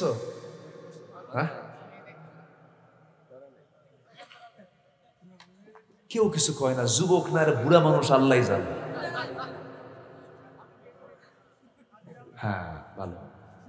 তাহলে বিয়ে করার দরকার আছে না নাই? দেন আর বুড়া চাচাও কয়ে আছে, বুড়ি জানলে কিন্তু খবর আছে আবার। আচ্ছা বিয়ে করা কি হুজুরের হুকুম না আল্লাহর হুকুম? ওয়ানকিহুল আয়ামা। আবার আরেক জায়গায় বলতেছেন, ফানকিহু মা তাবা মিনান নিসা। তাহলে, বিয়ে করো, এই হুকুম কি আমি বললাম না আল্লাহ বলেছেন? হাসো কেন? আবার বেজার হও কেন? বিয়ে করা, এটা ইমানই দায়িত্ব, ঠিক কিনা? বরং আজকের এই ফেতনার দুনিয়া বিয়ে করে নেওয়াটাই নিরাপত্তা, ইমানের নিরাপত্তা, ইমানের নিশ্চয়তা। আল্লাহ একবার বলেন। রাগ করতেছেন? আল্লাহ তালা বলছেন, তোমার স্বামীহীন নারীকে বিয়ে করো। কিন্তু এখনকার ছেলেরা কি করে জানেন? যার স্বামী আছে ওখানে যে ঘুতে ঘুতে করে। আমি কি ভুল বলতেছি? পরকীয়ার পরিমাণ এখন কমছে না বাড়ছে। নিজে তো অশান্তির মধ্যে পড়লই, আরেকটা পরিবারকে অশান্তির মধ্যে ফেলে দিল। আল্লাহ বলতেছে, ওই- জায়গায় যাইস না, তুই যা যেখানে তার বিয়ে হয় না। একা যাইস না, বাপ সাথে নিয়ে যা। রাগ করতেছেন নাকি আপনারা? এই ছোট্ট বাচ্চাটা হাসতেছে না? সব বোঝে তো। কি সুন্দর, দাঁড়াও তো। দাঁড়াও। দাঁড়াও না তুমি আব্বু। দেখছেন কি বুড়া মানুষ? ওদিকে তাকা। দেখছেন, বুড়া মানুষ দেখছেন? সব বোঝে। প্রত্যেকটা কথা সে রিসিভ করছে। যে বলি আলহামদুলিল্লাহ। আজকে আমি কি যে কপালে আছে, আজকে কি ফজর পর্যন্ত হয় নাকি আলোচনা? আমি কিন্তু আজকে একদম ঘরোয়া পরিবেশ মনে করে কথা বলছি ফ্রি হয়ে কথা বলছি। রাগ করছেন না তো? তাহলে বিয়ে করা কি মোল্লা কইছে না আল্লাহ কইছে? আল্লাহ। বিয়ে করো। যুবকরা বিয়ে করবা, তোমার রিজিকটা ডাবল হয়ে যাবে। জোরে বলে সুবাহান আল্লাহ কারণ তোমার অধীনে একজন আসবে, তখন আল্লাহ রিজিক কমায় দিবেন না বাড়ায় দিবেন? আল্লাহ তোমার দারিদ্রতা দূর করে দিবেন একটা আয়াত আসছে, বিয়ে করো, আমি তোমার দারিদ্রতা দূর করে তোমাকে ধনী বানায় দেব। এই দেশের যত ধনী মানুষ, ধনী ব্যক্তি যারা, সব বিয়ের পরে ধনী হয়েছে। আমার নবীজি সম্পদ পাইছেন বিয়ের পরে। সুমান আল্লাহ বলেন। বিয়ে করো। জেনার কাছে যেও না। জেনা বড় ভয়ঙ্কর অপরাধ জেনা বড় ভয়ঙ্কর অপরাধ। আসতেছে, লোকমানের অনেক ওয়াজ আছে এখানে। কেবল বলছি কয়টা? লোকমানের কয়টা ওয়াজ করছি? একটা। শিরকের কাছে আমরা যাব না। জোরে বলি, ইনশাআল্লাহ। যুবকদের জন্য কয়টা কাজ? বলেন, কয়টা কাজ? নাম্বার ওয়ান হলো বিয়ে করা। জেনার কাছে না যাওয়া। চরিত্রকে ইউসুফের মতো রাখা। চরিত্রকে ফ্রেশ রাখা, কোনো মেয়ের দিকে না তাকানো, কোনো বেগানা নারীর দিকে তাকালে সোয়াব না গোনা প্রথমবার তাকালে মাফ, দ্বিতীয়বার তাকালে পাপ হয়ে যাবে। প্রথমবার তাকাইছো যুবক, চট করে মুখটা ঘুরায় নিবে, চোখটা ঘুরায় নিবে। আল্লাহ তালা মুজাহিদের সব তোমার আমল নামায় দিয়ে দিবেন। অনেকদিন আগে এক মাহফিলে প্রায় এক যুগ আগের কথা বলছি। এক মাহফিলের ডান পাশে না বাম পাশে থেকে এক যুবক সামনে থেকে দাঁড়ায় বলে, হুজুর প্রথমবার যেহেতু তাকানো যে আছে একশোটে এক ঘণ্টা, এক তালে। যেরকম নাউজুবিল্লাহ। কিছু মুখ, কিছু মানে ঠোঁট কাটা মানুষ থাকে না? থাকে আল্লাহ তো কৌশল বোঝে এরকম কিছু করা যাবে না। এক সাহাবি এসে বলছেন ইয়ার রাসূল আল্লাহি সব বাদ দেব আমি, কিন্তু জেনা বাদ দিতে পারব না। রসুল রাগ করলেন না, রসুল তাকে আস্তে করে পাশে বসায় দিয়ে বলেন, সাহাবি জেনা বাদ দিবা না না জেনা বাদ দেব না। রসুল বলেন, তোমার মার সঙ্গে তুই যদি কেউ জেনা করতে আসে, তুমি কি করবা? হুজুর, জব করব। যদি মেয়ের সঙ্গে জেনা করতে আসে, হুজুর, আমি সহ্য করতে পারব না। তোমার স্ত্রীর সঙ্গে যদি কেউ জেনা করতে আসে, হুজুর, আমি এটা আমার জন্য প্রচণ্ড কষ্টের কারণ হয়ে যাবে সহ্য করতে পারব না। রসুল বললেন ও সাহাবি, তুমি যার সঙ্গে জেনা করতে যাবে সে তো কারও না কারও স্ত্রী, কারও না কারও মেয়ে, কারও না কারও বোন। সাহাবির চক্ষু বেয়ে বেয়ে টপ টপ করে পানি পড়ছে আর বলছে, হুজুর, আল্লাহর কসম করে বললাম, আজকে থেকে সকল জেনার কাজ আমি বন্ধ ঘোষণা করে দিলাম। জোরে বলে সুবাহান আল্লাহ আরও জোরে বলে সুবাহান আল্লাহ একটু ভাবতে হবে, ইমানদার ভাবনা ছাড়া চলে না, ইমানদার ভাবনা নিয়ে চলে। আর যার ইমান নাই, তার কোনো ভাবনা ইমানদার ভেবে চিনতে চলবে। ইমানদার একটু একটা পা ফেলবে। কদমা ইবনে আদম কোন আদম সন্তান এক কদম সামনের দিকে নিতে পারবে না, যতক্ষণ না পাঁচটা প্রশ্নের জবাব না দিতে পারবে। এর মধ্যে এক নম্বর হলো তার জীবনকাল সে কোথায় ব্যয় করেছে? নাম্বার দুই হলো ওয়ান ফি তার যৌবন সম্পর্কে প্রশ্ন করা হবে, সে তার যৌবন কালটা কোথায় সে ব্যয় করেছে? যৌবনের প্রশ্ন আছে না, নাই। আসতে বলবেন, না আছে না নাই। ইগতানিম খামসান কাবলা খামসিন। পাঁচটা বস্তা আসার আগে পাঁচটি গনিমত মনে করো। নাম্বার ওয়ান কাবলা হারামিক। বার্ধক্য আসার পূর্বে যৌবনকে তুমি কাজে লাগাও, যৌবনকে নষ্ট করো না। সাবুন্নাশায়াফি ইবাদাতিল্লাহ। ওই যুবককে আল্লাহ তাআলা আরশের ছায়ার নিচে স্থান দিবেন, যে যুবকটা শেষদার মধ্যে তার যৌবনটা কাটায়া দেয়। জোরে বলি সুবহানাল্লাহ। এই জন্য যৌবনের ইবাদত সবচেয়ে পছন্দ বেশি করেন কে? আসতে বলবেন না কে? আল্লাহ পছন্দ করেন। এই জন্য আল্লাহ তাআলা সূরা লোকমান দ্বীপ, লোকমানের ওয়াজগুলো দুনিয়াবাসীকে জানায় দিচ্ছেন, ও দুনিয়ার সমস্ত বান্দারা, তোমরা লোকমানের মতো বাপ হয়ে যাও। দেখো লোকমান কি সুন্দর করে ওয়াজ করছে। ওয়াহু ইয়াইদুহু ইয়া বুনাইয়া, লা তুশরিক বিল্লাহ ইন্নাশ শিরকা লাযুলমুন আযীম। শিরিক সবচেয়ে মস্ত বড় জুলুম। ও বাচ্চারা কখনো শিরিক করবা না। নাম্বার দুই হলো ও আমার কলিজার টুকরো সন্তানরা, তোমরা আল্লাহর শুকর আদায় করে, আনিস করুলি, ওয়ালি ওয়ালিদাইক, আল্লাহর শুকর আদায় করবে, তোমার পিতামাতার শুকর আদায় করবে, পিতামাতার প্রসঙ্গে এখানে টেনেছেন। এরপরে পিতামাতার প্রসঙ্গে টেনে আবার এই কথা বলা হচ্ছে, পিতামাতা যদি তোমাকে শিরকের দিকে নিয়ে যায়, সেই সময় পিতামাতার আনুগত্য করা যাবে না। ওয়াইন জাহাদাকা আলা আন তুশরিকা বি মা লাইসা লাকা বিহি ইলমুন ফালা তুতিউহুমা মারুফা। কিন্তু তোমার বাবা মুশরিক, তোমার মা মুশরিকা, চুল পরিমাণ তার সঙ্গে কোনো বেয়াদবিও করতে পারবে না, সুন্দর আচরণ করবে। সুন্দর করে কথা বলবে, কিন্তু বেয়াদবি কোনো আচরণ তুমি কখনো করতে পারবে না। এরপরে সুন্দর করে আল্লাহর বড়ত্ব প্রকাশ করে বলছেন আমার করে যার টুকরো সন্তান, শোনো, দুনিয়াতে যে অপরাধটাই করবে, সমস্ত অপরাধের সমস্ত খবর কে জানবেন? আসতে বলবেন না, কে জানবেন? সেটা যদি সরিষার দানাও যদি হয়, গোটা পৃথিবীর কোন জায়গায় কোন জায়গায় লুকানো আছে, সেই সরিষার দানাটাও আল্লাহ খুঁজে বের করবেন, বান্দা। আল্লাহর এমন ক্ষমতা আছে, তুমি কোনো কিছুই করতে যাবে, সঙ্গে সঙ্গে ধরা পড়ে যাবে, কার কাছে? আসতে বলবেন না, কার কাছে? কি সুন্দর করে বলছেন, ইয়া বুনাইয়া ইন্নাহা ইন তাকু মিসকালা মিসকালা হাববাতিন মিন খারদালিন। فتكن في صخرة أو في السماوات والأرض يأتي بها الله إن إن الله لطيف خبير জোরে বলুন আল্লাহু আকবার নাম্বার ছয় এবার বলছি আমার কলেজার টুকরা শোনাইয়া বোনাইয়া আকিমিস সালাহ নামাজ কায়েম করো নামাজ কি করো নামাজটা কায়েম করো প্রথমে বললেন, শিরিক করো না। নাম্বার দুই, আল্লাহর শুক্র আদায় করো। নাম্বার তিন, পিতামাতার আনুগত্য করো। নাম্বার চার, সরিষার দানাও যদি হয়, সেটা আল্লাহ খুঁজে বের করবেন। ও আমার সন্তানরা, আল্লাহকে তোমরা সবচেয়ে বড় সাক্ষী হিসেবে গ্রহণ করে নিও।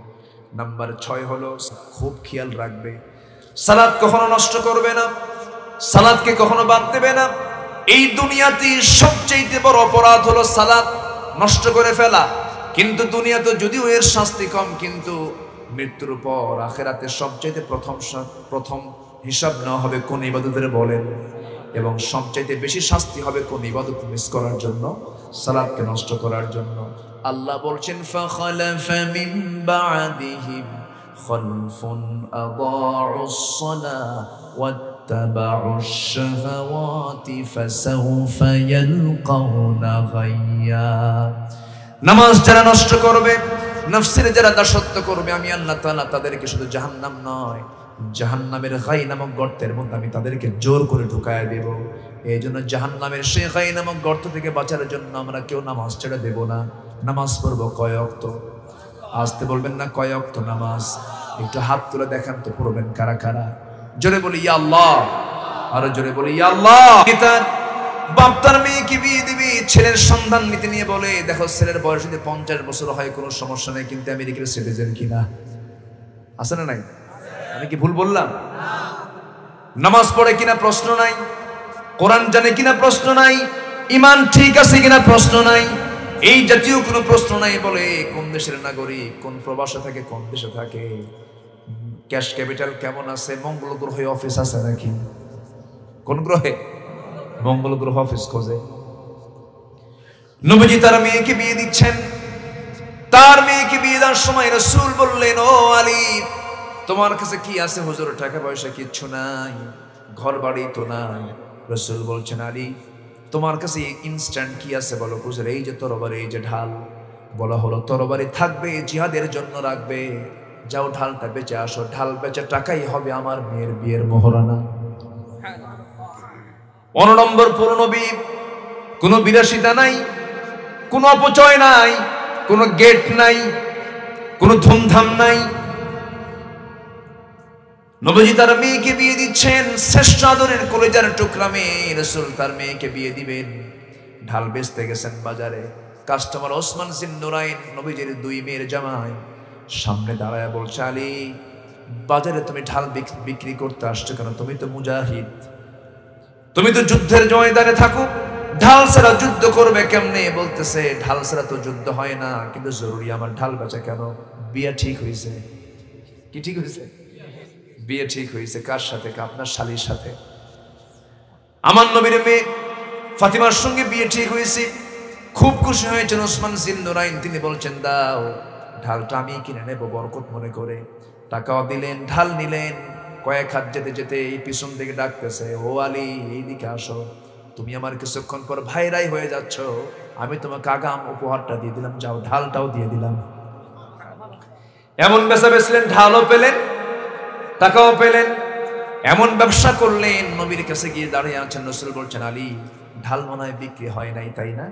হুজুর, বিক্রি হয়ে গেছে, এই যে টাকা, ঢাল হাতে কেন, হুজুর? বিক্রি করেছে, আবার ঢালটা উপহারও পাইছে। কি উপহার দিল, তোমাকে ওসমান, লোক আর খুঁজে পাও নাই। আমার বড় জামার সঙ্গে কারবার করতে গেছো তুমি। রসুলের মুসকি মুসকি হাসি মারলেন, বিয়েটা ঠিক হয়ে গেছে, নবীজি বিয়ে দিলেন। বিয়ে দেওয়ার সঙ্গে সঙ্গে নবীজি কেঁদে কেঁদে বলছেন, আমার মা ফাতিমা, এই যে আজকে তোমাকে বিয়ে দিলাম, আমার ঘর আর তোমার স্বামীর ঘর, আজকে থেকে শ্রেষ্ঠ ঘর বাবার ঘর নয়, শ্রেষ্ঠ ঘর হবে তোমার স্বামীর ঘর। সুবহানাল্লাহ বলেন।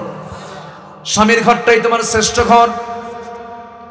আমি তোমাকে এমন একটা ছেলে দিলাম, এমন ছেলের হাতে তোমাকে উঠাইয়া দিলাম, যার মাথা থেকে পা পর্যন্ত গোটাটাই তাকোয়া দিয়ে ভরা।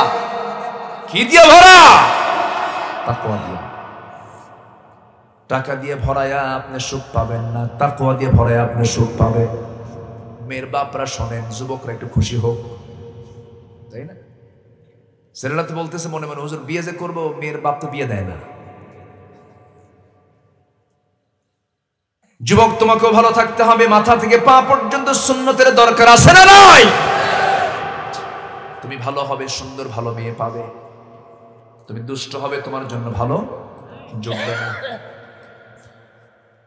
আমার নবী মেয়েকে বিয়ে দিয়ে বলছেন, মা, শোনো, তোমার জন্য কিছুই দিতে পারলাম না, পানির মশক, চামড়ার তোষক, আর একটা পিস দানে দিলাম, মা, আর পান করার জন্য একটা গ্লাস দিলাম। যাও, স্বামীর বাড়ি করে খাও। একটা বাসা ভাড়া নিয়ে নাও, আমি তোমার জন্য দোয়া করে দিলাম, মা, তুমি চলে যাও। একটা কথা শুনে রাখো, মা, মৃত্যুর দিন পর্যন্ত স্বামীর বিরুদ্ধে যেন একটা নালিশ আমার কানে না আসে। এখনকার মেয়ের বাপরা কি এরকম নাকি? মেয়ের বাপ মেয়েকে বিয়ে দিয়ে বলে, মা, যা, স্বামীর ঘরে যা, যদি কিছু বলে শুধু ফোন দিবি, খাইয়া ফালাবো আছে না নাই? আমি কি অবাস্তব কিছু বলছি? এগুলো করা যাবে না। আমার আলোচনা এলাকার মায়েরা শুনছেন কিনা জানি না। ও আমার মা, স্বামীর ঘর ভাববেন বরকতের ঘর, কারণ সেই সেই সেই ঘরেই তো আদম সন্তান আসবে। আল্লাহর বান্দা বান্দিরা আসবে। জিকির করবে কার? আসতে পারবে না, জিকির করবে কার? আল্লাহর জিকির করবে। সন্তানকে কোরআন শিখাবেন, কোরআন তেলাওয়াত করবেন, দিনই পরিবেশটা বাড়ির মধ্যে জাগ্রত করবেন। কোরআনের গুনগুন গুনগুন করে আওয়াজ আপনার মুখ থেকে বের হবে, আপনি রান্না বান্না করবেন। সন্তানদের গোসল করাবেন, আল্লাহর জিকিরটা থাকবে সর্বক্ষণের জন্য। পর্দার পরিবেশ নিয়ে থাকবেন, দেখবেন আপনি পারি- পারিবারিকভাবে খুব শান্তিতে বসবাস করতে পারবেন। কিন্তু আজকের মেয়েরা কি এগুলো করে? না, স্টার জলসা দেখে। হ্যাঁ? আমি কি ভুল বলতেছি? কথা বলব? বারোটা বাজে। বাজে নাই? আচ্ছা বাজলেই শেষ করব। তাও শেষ করব না? সবাই থাকতে রাজি আছেন? সবাই থাকবেন, আমি চলে যাব এই খুব ভালো, বলি আলহামদুলিল্লাহ। এমন উপজেলার নাম বাঁশ খালি। যদি বাঁশ নিয়ে দাঁড়ায় থাকেন সামনে, আমি যাব কেমন? এলাকার নামই হলো বাঁশখালী তাই না? জি। আমার নবীজি মজা করতেন। নবীজি কথা বলতেন, মজা করতেন। এক মহিলা, কালো মহিলা, রসুল বলেন, এই মহিলা কোনোদিন জান্নাত পাবেন না। মহিলা কেন্দে মরে যায়। রসুল বলছে মহিলা, তুমি কান্দো কেন হুজুর আপনার মুখ থেকে বের হয়েছে, আমি জান্নাত পাবো না। কে বলেছে জান্নাত পাবো না? পূর্ণিমা রাতের চাঁদের মতো সুন্দর, উজ্জ্বল চেহারা নিয়ে তুমি জান্নাতে প্রবেশ করবা। কালো কোনো মহিলা জান্নাতে থাকবে না। আল্লাহ আকবার। রসুল মজা করতেন। এক বুড়ি মহিলাকে দেখে বলেন, এই বুড়ি কোনদিন জান্নাত পাবে না।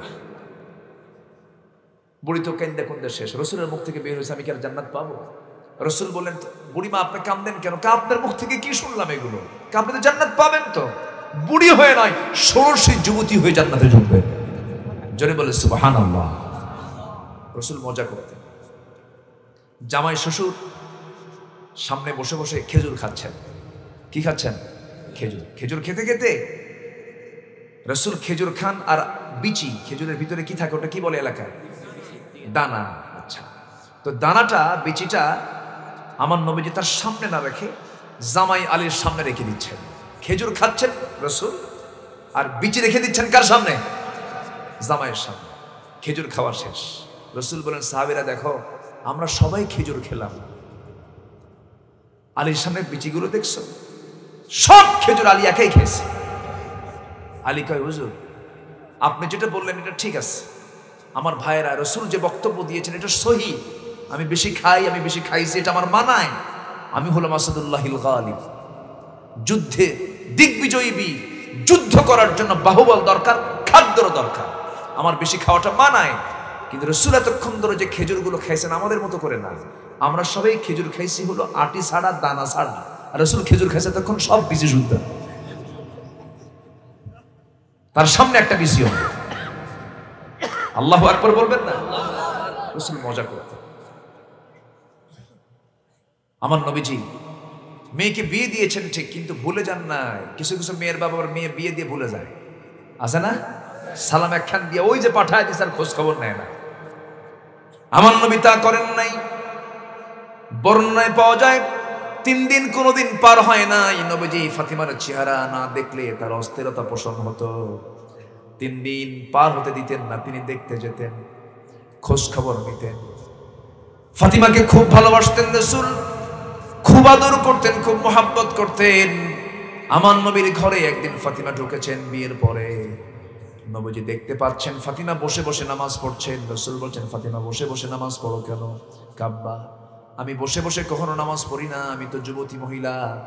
দাঁড়িয়ে দাঁড়িয়ে নামাজ পড়ি, কিন্তু আজকে বসে নামাজ পড়ার কারণ হলো, আমার গায়ে যে কাপড়টা দেখতে পাচ্ছেন, আব্বা, এই কাপড়ের পিছনের অংশ একটা তালি আছে, একটা জোড়া অংশ আছে। এই তালি অংশ, এই জোড়া অংশ, এই সেরা অংশটা যদি আপনার দৃষ্টিগোচর হয়ে যায়, আপনি মনে মনে ভাববেন, আহারে, আমার স্বামী আলী আমার মেয়েটাকে কাপড়ে কষ্ট দেয়। আমার স্বামীর এতটুকু দুর্নাম প্রকাশ পেয়ে যাক, আমি এটা চাই নাই, মনে করে আমি বসে বসে নামাজ পড়তেছি, আব্বা। স্বামীর প্রতি ভক্তি, রসুল শিখিয়ে দিয়েছেন, পৃথিবীতে শেষদার যদি কোনো হুকুম থাকতো, প্রত্যেক স্ত্রী তার স্বামীকে সকাল সন্ধ্যা শেষদা দিত। কি গুরুত্ব স্বামীর ইসলামে দেওয়া হয়েছে? আবার বৌদের দামও কিন্তু কম না। হাদিস এসেছে, যদি কোনো স্ত্রী বলে, আমার স্বামী ভালো, আল্লাহ বলবেন, ওই বান্দা আমার ভালো। এই জন্য পীরের কাছে ভালো হওয়া দরকার না বইয়ের কাছে ভালো হওয়া দরকার? ভালো করে কম অন্য লোকের কাছে ভালো হওয়া- হওয়ার দরকার আগে নাই, কারণ নিজের লোক যদি আপনাকে ভালো বলে, আপনি কি আল্লাহ ভালো বলবেন? আল্লাহ একবার বলেন। এই জন্য বইয়ের কাছে স্বামী ভালো হতে হবে, স্বামীর কাছে বউ ভালো হতে হবে, ইসলাম এগুলো শিক্ষা দিয়েছে। আমার ভাইয়েরা, রসুল ফাতিমাকে বড্ড ভালোবাসতেন। নবজি ফাতিমাকে একটাবারের জন্য ভুলতে পারেন নাই। নবজি যখন মারা যাবেন, আম্মা আম্মা জানা এসে বর্ণিত হাদিস, রসুল মারা যাবেন। রবিউল আউ্য়াল মাস, নবজির মাথার প্রচণ্ড যন্ত্রণা শুরু হয়ে গেছে। আম্মা জানা এসে বলেন, নবীজি আমার ঘরটাকে চয়েস করলেন, আমার ঘরেই নবী রসুল প্রবেশ করলেন। আর বের হতে পারেন নাই। আমার উরুটাকে বিছানা বানায় নিয়ে আমার নবীজি আমার উরুতে মাথা রেখে দুনিয়া থেকে বিদায় হয়েছিলেন। রসুল যখন বিদায় হবেন, রসুল বলছেন আয়সারে আমার বুঝে মৃত্যুর সময় ঘনিয়ে এসেছে। আমাকে একটা মেসোয়াক এনে দাও তো। মেসোয়াক এনে দিলাম। আমার ভাই আব্দুর রহমানকে ডাক দিয়ে মেসোয়াক নিয়ে আসা হলো। মেসোয়াকটা দেখলাম বড় শক্ত। আমি, আয়েশা, আমি শক্ত মেসোয়াকটাকে চাবায় চাবায় নরম করে দিয়া নবীর হাতেও তুলে দিলাম। আমার নবীজি ওই মুমূর্ষ অবস্থায় মরে যাবেন কিছুক্ষণ পর নবীজি মেসোয়াকটা নিয়া আগে মেসোয়াক শুরু না করে আমার থুতু ওই মিসওয়াকের আগে কিছু লাগানো ছিল। সেই থুতুগুলো চুষে চুষে পান করছেন আর মুসকে মুসকে হাসি দিয়ে বলছেন আয়সা রে, মৃত্যুর আগেও তোমাকে একটু ভালোবাসার পরিচয় দেখাচ্ছি। আলহামদুলিল্লাহ বলেন। আমি তোমাকে দারুণ ভালোবাসি, আয়েশা। আমার নবীজি মিসওয়াক সম্পূর্ণ করলেন।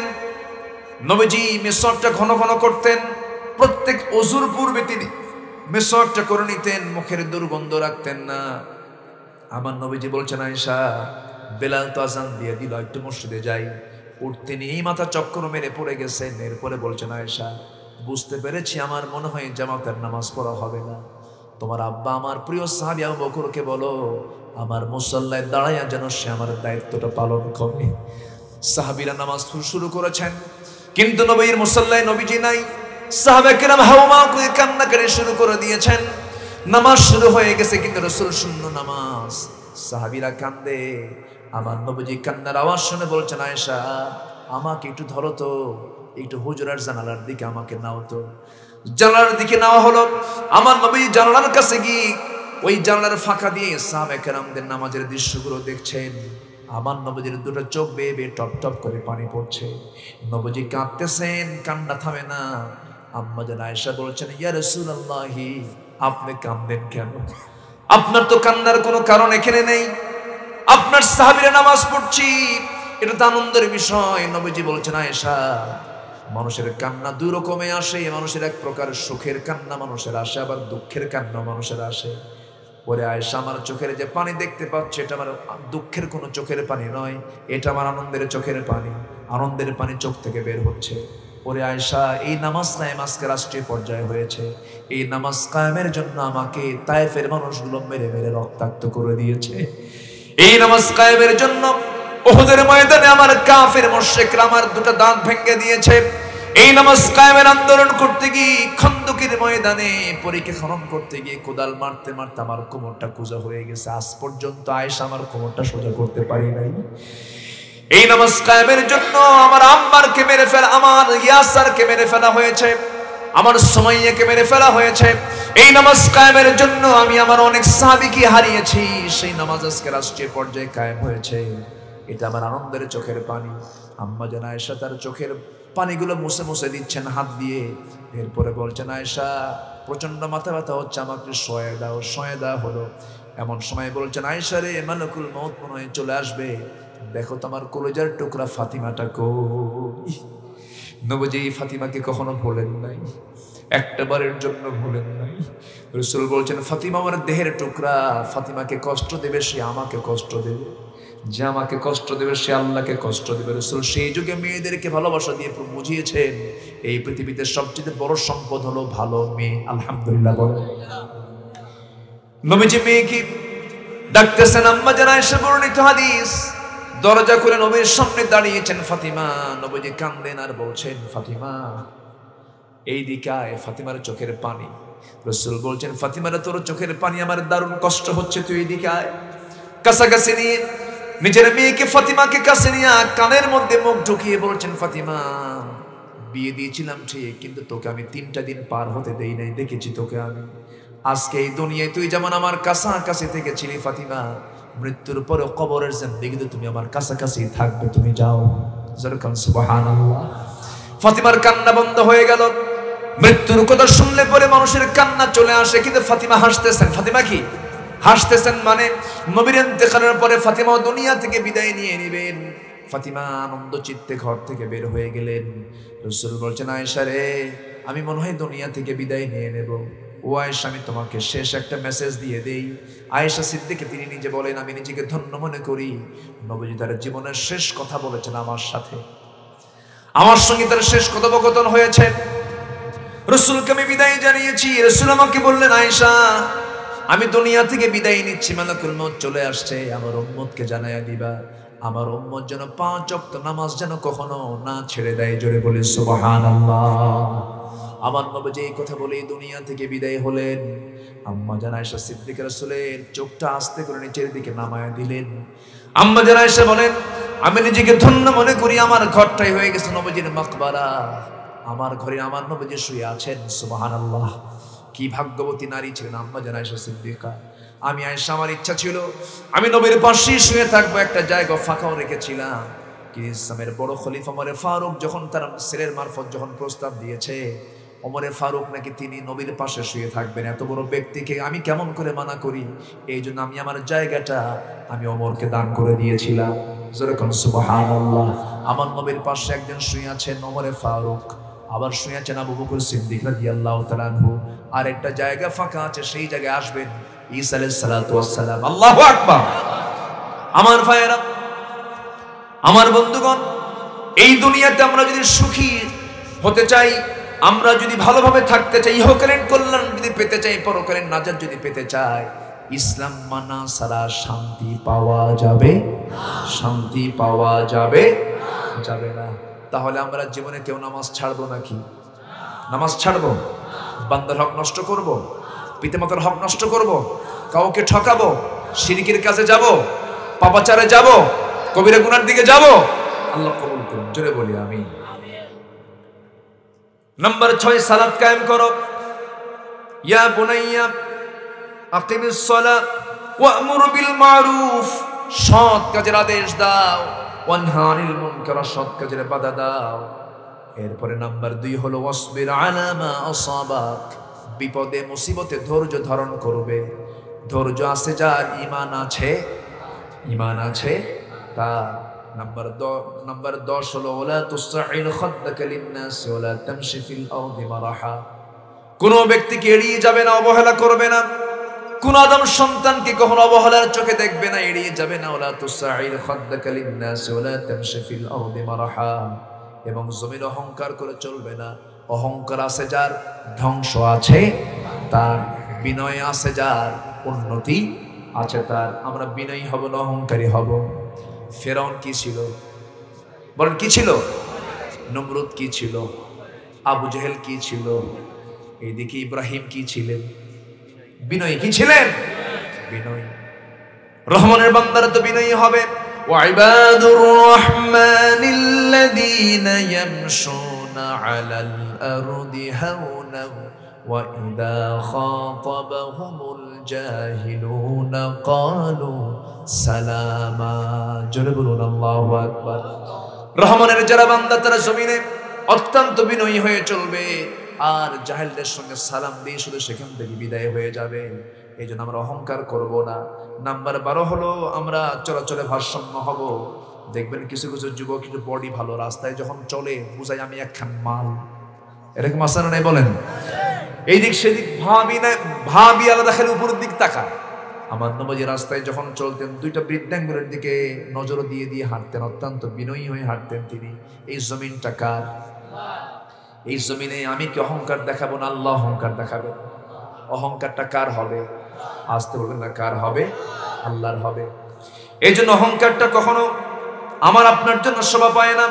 অহংকার কখনো দেখা যাবেন দেখানো যাবে না। আল্লাহ তালা বলছেন তামশি ফিল আরদি মারহা إن الله لا يحب كل مختال فخور جري بلون الله أكبر نمبر ترهلو نمبر برهلو واقصد في مشيك وخضض من صوتك إن أنكر الأصوات لصوت الحبيب কণ্ঠটাকে কখনো উঁচু কর্কশ করবা না, বড় গলায় কথা বলবা না। কথা বলবে নম্রতা নম্রতা নিয়ে, ভদ্রতা নিয়ে সুন্দর করে কথা বলবে। কারণ সবচেয়ে বড় আওয়াজে কথা বলে হলো গাধা। বড় আওয়াজ কার? গাধা। গাধার আওয়াজটা শোনেন না আপনারা? খুব জোরে আওয়াজ হয়, কিন্তু খুব মিষ্টি। গাধার আওয়াজ কি মিষ্টি? গাধার আওয়াজ শোনেন না আপনারা? সবাই তো শোনে নাই না? গাধার আওয়াজটা কিন্তু খুব মানে কুরুচিপূর্ণ। মানে গাধার আওয়াজ খুব জোরে হয়। কিন্তু আওয়াজটা মানে খুবই অপছন্দনীয়। যার মধ্যে কোনো সুর, যার মধ্যে কোনো একটা সুন্দর সফটনেস এটা নাই। এই জন্য আমরা কথা বলব, নিজের কণ্ঠটাকে নিচু রাখব এবং কথার কণ্ঠের মধ্যে থাকতে হবে মিষ্টতা, ভদ্রতা, বিনম্রতা। আল্লাহ কবুল করুন। জোরে বলি আল্লাহ আমিন। আল্লাহ তালা কত সুন্দর করে উদাহরণটা দিচ্ছেন। দেখেন, তাহলে লোকমান যে নসিহতগুলো দিলেন তার সন্তানদেরকে, এই নসিহতগুলো যদি আমরা দেই, আমাদের সন্তানরা কি লোকমানের সন্তানের মতো হবে না? যেন হবে না ইনশাল্লাহ আল্লাহ তালা লোকমানকে এত দাম দিয়েছেন কেন জানেন? উনি বলেন, আল্লাহ তালা আমার মর্যাদা বৃদ্ধি করেছেন দুটা কারণে। কয়টা কারণে? দুইটা কারণে। এক নম্বর হলো সত্য কথা বলা। কি কথা বলা? সত্য কথা বলা। নাম্বার দুই হলো অপ্রয়োজনীয় কথা কাজ পরিহার করে চলা। আমি লোকমান এই দুইটা জিনিস আমি সারা জীবন ফলো করেছি। সত্য কথা ছাড়া মুখ থেকে কোনো মিথ্যা কথা বের হয় নাই। অপ্রয়োজনীয় কোনো কথা এবং কাজ আমার জীবনে বাস্তব হয় নাই। এই জন্য আল্লাহ তালা আমার মর্যাদা বাড়াইয়া দিয়েছেন যেরকম সুবাহান আল্লাহ এছাড়া লোকমানের নয়টা স্বতন্ত্র গুণ ছিল। আমরা এটা মনোযোগ দিয়ে শুনি, আক্ষরিকভাবে বলে দিচ্ছি। নাম্বার ওয়ান হলো, লোকমান ইসলামের ব্যক্তিগত কয় নয়টা গুণ ছিল? কয়টা? নয়টা গুণ ছিল। নাম্বার ওয়ান হলো, দৃষ্টিটাকে নিম্নমুখী রাখা। নাম্বার দুই হলো, মুখ বন্ধ রাখা। নাম্বার তিন হলো, হালাল জীবিকায় সন্তুষ্ট থাকা। নাম্বার চার হলো লজ্জাস্থানকে হেফাজত করা। নাম্বার পাঁচ, সত্য কথায় অটল থাকা। নাম্বার ছয়, অঙ্গীকারকে পূর্ণ করা। নাম্বার সাত, মেহমানের আদর আপ্যায়ন ঠিক মতো করা। নাম্বার আট, প্রতিবেশীর প্রতি লক্ষ্য রাখা। নাম্বার নয়, অপ্রয়োজনীয় কথা কাজ পরিহার করে চলা। এই নয়টা গুণ লোকমানকে, সুরা লোকমানের, কোরআনের মতো একটা কিতাবে তার স্থান এই গুণের জন্য আল্লাহ তালা করে দিয়েছেন যেরকম সুবাহান আল্লাহ এই সমস্ত গুণ আমরা আনব, জোরে বলি ইনশাআল্লাহ। আরও জোরে বলি ইনশাআল্লাহ। এছাড়াও লোকমান সালাতাম আরেকদিন সন্তানগুলোকে ডাক দিয়ে বলছেন বাজানরা শোনো, তোমরা পৃথিবীর শ্রেষ্ঠ খাবার খাবে, শ্রেষ্ঠ বিছানায় ঘুমাবে, শ্রেষ্ঠ প্রাসাদে অবস্থান করবে, শ্রেষ্ঠ খাবার খাবে, শ্রেষ্ঠ বিছানায় ঘুমাবে, শ্রেষ্ঠ প্রাসাদে অবস্থান করবে। সন্তানরা হাসতে হাসতে বলছে, আব্বা, কেমন করে সম্ভব? আমরা থাকি কুড়ে ঘরে, শ্রেষ্ঠ খাবার পাবো কেমনে? শ্রেষ্ঠ প্রাসাদে থাকব কেমনে? শ্রেষ্ঠ বিছানায় থাকব কেমনে? লোকমান এবার বলছেন, আমার সন্তানরা, তোমার তোমরা আমার কথার হেকমতটা বোঝো নাই। শ্রেষ্ঠ খাবার মানে হলো, তোমরা যখন খেতে বসবে ক্ষুদা পেটে ছাড়া কখনো ভরা পেটে বসবে না খেতে। খেতে বসার নিয়ম হলো ক্ষুদা পেটে না ভরা পেটে। বলেন ক্ষুদা পেটে বসবে খেতে, আবার ক্ষুদা পেটে বসে ক্ষুদা পেটে আবার উঠে আসবে, পুরোপুরি উদর ভর্তি করে পেট ভরে খাবে না। ক্ষুদা পেটে খাবে ক্ষুদা ক্ষুদা পেটে শুরু করবে ক্ষুদা পেটেই উঠে আসবে। তোমার কাছে মনে হবে তুমি তোমার পৃথিবীর শ্রেষ্ঠ খাবার তুমি খেয়ে নিয়েছো। সোমানাল্লাহ বলবেন না? এগুলো হচ্ছে হেকমত। এগুলো কি? হেকমত। নাম্বার দুই হলো, শ্রেষ্ঠ বিছানায় ঘুমাবে। ও আমার কলিজার টুকরার সন্তান অলস জীবন গ্রহণ করবে না, অলসতা নিয়ে কখনো চলবে না। কায়িক পরিশ্রম করবে, দৈহিক পরিশ্রম করবে, সারাদিন পরিশ্রম করার পরে বিছানায় যাবে, পরিশ্রম ছাড়া কখনো বিছানায় যাবে না। পরিশ্রম করার পর যে বিছানায় তুমি ঘুমাবে, সেই বিছানাই হবে তোমার জীবনের শ্রেষ্ঠ বিছানা। জোরে বলেন হিকমা। এবার বলছেন, আমার কলিজার টুকরার সন্তান, শোনো। শ্রেষ্ঠ প্রাসাদে অবস্থান করবে তোমরা। শ্রেষ্ঠ প্রাসাদটা হলো আমার বাজান, শোনো। আমার শ্রেণা শোনো, শ্রেষ্ঠ প্রাসাদ হলো। এই পৃথিবীতে সবচেয়ে শ্রেষ্ঠ প্রাসাদ হলো মানুষের মনকে জয় করা। মানুষের হৃদয় রাজ্যে তুমি দখল করবে। মানুষের মনকে তুমি বিজয় করে ফেলবে। মানুষের মনকে যখন তুমি বিজয় করবে, এর যদি বড় রাজত্ব তোমার জীবনে আর কোনোটাই থাকতে পারে না। জোরে বলে সুবাহান এই জন্য আমাদের জোর করে রাজত্ব দরকার না, হৃদয় রাজ্য দরকার। বলেন, জোর করে রাজত্ব দরকার না, হৃদয় রাজ্য দরকার? হৃদয় রাজ্য দরকার। জনগণ চায় না, কিন্তু সুপারগুলো আটা দিয়ে বসেই থাকে। আছে না নাই? আছে না নাই? হৃদয় রাজ্য দরকার নাই, আমার রাজত্ব দরকার। চাক আর না চাক সুপারগুলো আটা দিয়ে বসছে সারবো না। আছে? আসতে বলবেন না, আছে? ওয়াস্তবা নতুন করে বের হলো। সেই দিন অমরে ফারুক আদি আল্লাহ তালান কি শাসক ছিলেন? জনগণকে দেখতে যেতেন জনগণের কাছ থেকে তিনি লুকায় লুকায় শুনতেন, অমর কেমন মানুষ? অমর কেমন মানুষ? সার্টিফিকেট নিতেন আড়ালে গিয়ে জনগণের পাশে গিয়ে ছদ্মবেশ ধারণ করে বলতেন, তোমার কি জানো, অমর কি চেনো? অমর লোকটা কিন্তু ভালো না। তখন জবাবে জনগণ বলতো, তুমি কে? অমরের বিরুদ্ধে তুমি কথা বলো। এই জমিনের শ্রেষ্ঠ শাসক বলতে একজনকে বোঝায় তিনি অমর। অমরে ফারুক চোখের পানি ফেলে মাটির দিকে তাকায় বলতেন, আল্লাহ এই বান্দার দোয়া তুমি কবুল করো। সুবহানাল্লাহ বলবেন না? এটাই হলো রাজত্ব, এটাই হলো হৃদয় রাজ্য। আল্লাহ তুমি সবাইকে বোঝার তাওয়াফিক দাও। জোরে বলি আল্লাহ আমিন। আরও জোরে আল্লাহ আমিন। মা বোনরা কি মাহফিল আছে? আপনার বাড়ি যাবেন না? একটা লোক ওঠে না কত কি নড়াচড়াও নাই, কিছু নাই, ওই যে বসে আছে, মানুষ না ফেরেস তার নাই জানে।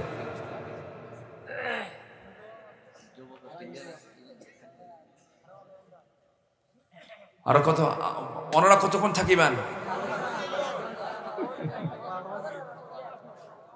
জাহেদ, কি করব? ও কয় সালায় বলি আলহামদুলিল্লাহ। জোরে বলি আলহামদুলিল্লাহ। সবাই বসুন। যে যেখানে আছেন বসুন, আমরা চাইব কার কাছে? আসতে বলবেন চাইব কার কাছে?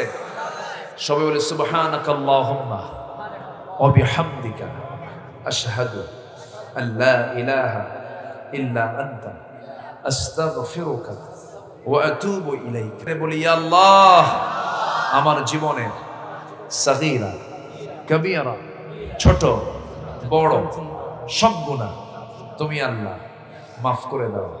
জোরে বলুন, ইয়া রব্বাল আলামিন, ইয়া রব্বাল আলামিন। কে জেনে বলল, গজল শুনবে নাকি? আমি গজল পারি? হ্যাঁ? পারি আমি? আপনারা জানেন? আল্লাহ ছাড়া মাবুদ নাই, রসুল ছাড়া রসুল ছাড়া নেতা নাই। আল্লাহ ছাড়া মাবুদ নাই, রসুল ছাড়া নেতা নাই। ইসলাম ছাড়া নাই রে কোনো দিন সেই দিনে আজ হরে শামিল কুল্ল মুসলিমিন। সেই দিনে আজ হরে শামিল কুল্ল মুসলিমিন। আল্লাহ ছাড়া মাবুদ নাই, রসুল ছাড়া নেতা নাই। ঠিক কিনা? দুটো যেন ঠিক থাকে। তাহলে সব ঠিক হয়ে যাবে। আল্লাহ কবল করুন। এই তো বললাম। ও পুরাটা বলবে? আমার তো ওয়াজ করতে করতে এগুলো ভুলে গেছি ভাই। আগে অনেক আগে গাইতাম এক সময়। হ্যাঁ? ধৈর্য ধারণ করার শক্তি দাও গো মেহের বানামায় দাও গো মেহেরবান। বুকের ভেতর ব্যথার নদী বইছে অবিরাম, বইছে বইছে অবিরাম। ধৈর্য ধারণ করার শক্তি দাও গো মেহেরবান, আমায় দাও গো মেহেরবান। আধার আমার দিয়ে কানাই কানাই দাও ভরিয়ে, আধার আমার আলো দিয়ে। কানাই কানাই দাও ভরিয়ে, অন্তর জোড়ে দাও গো প্রভু, অন্তর জোড়ে দাও গো প্রভু। ভোরের পাখির গান, বুকের ভেতর ব্যথার নদী বইছে অবিরাম বইছে বইছে অবিরাম। ধৈর্য ধারণ করার শক্তি দাও গো মেহেরবান আমায়, দাও গো মেহেরবান। ধৈর্য ধারণ করার শক্তি দাও গো মেহেরবান আমায়, দাও গো মেহেরবান।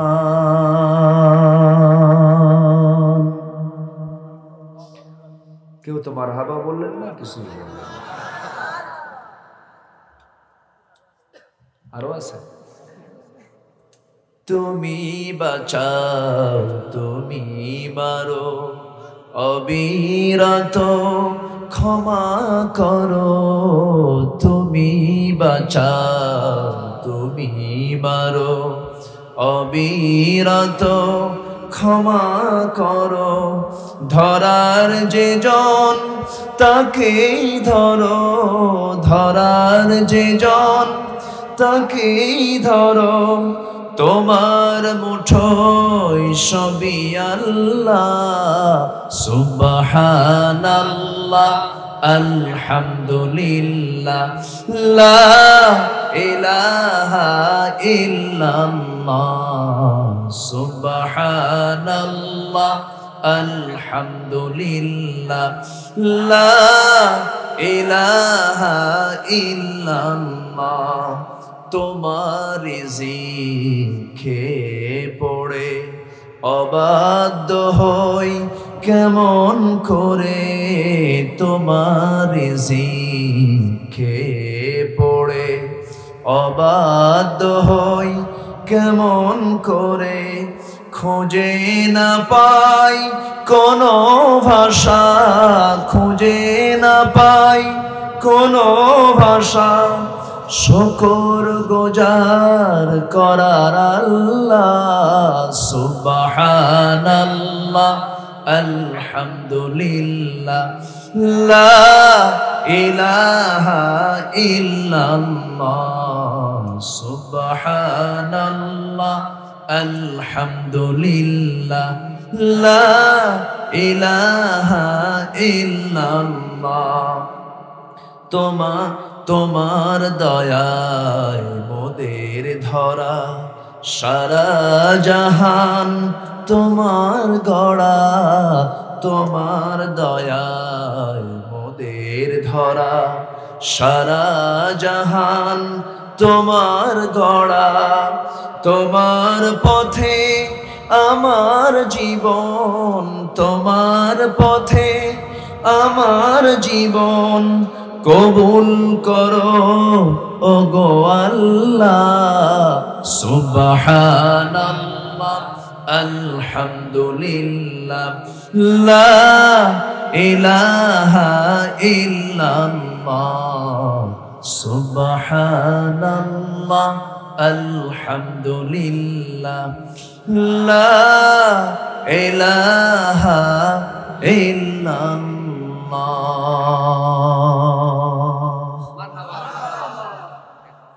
এই বছরে এত গজল কোথাও গাই নাই। এই বছরও এত অজসব এত লম্বা কোথাও কই নেই।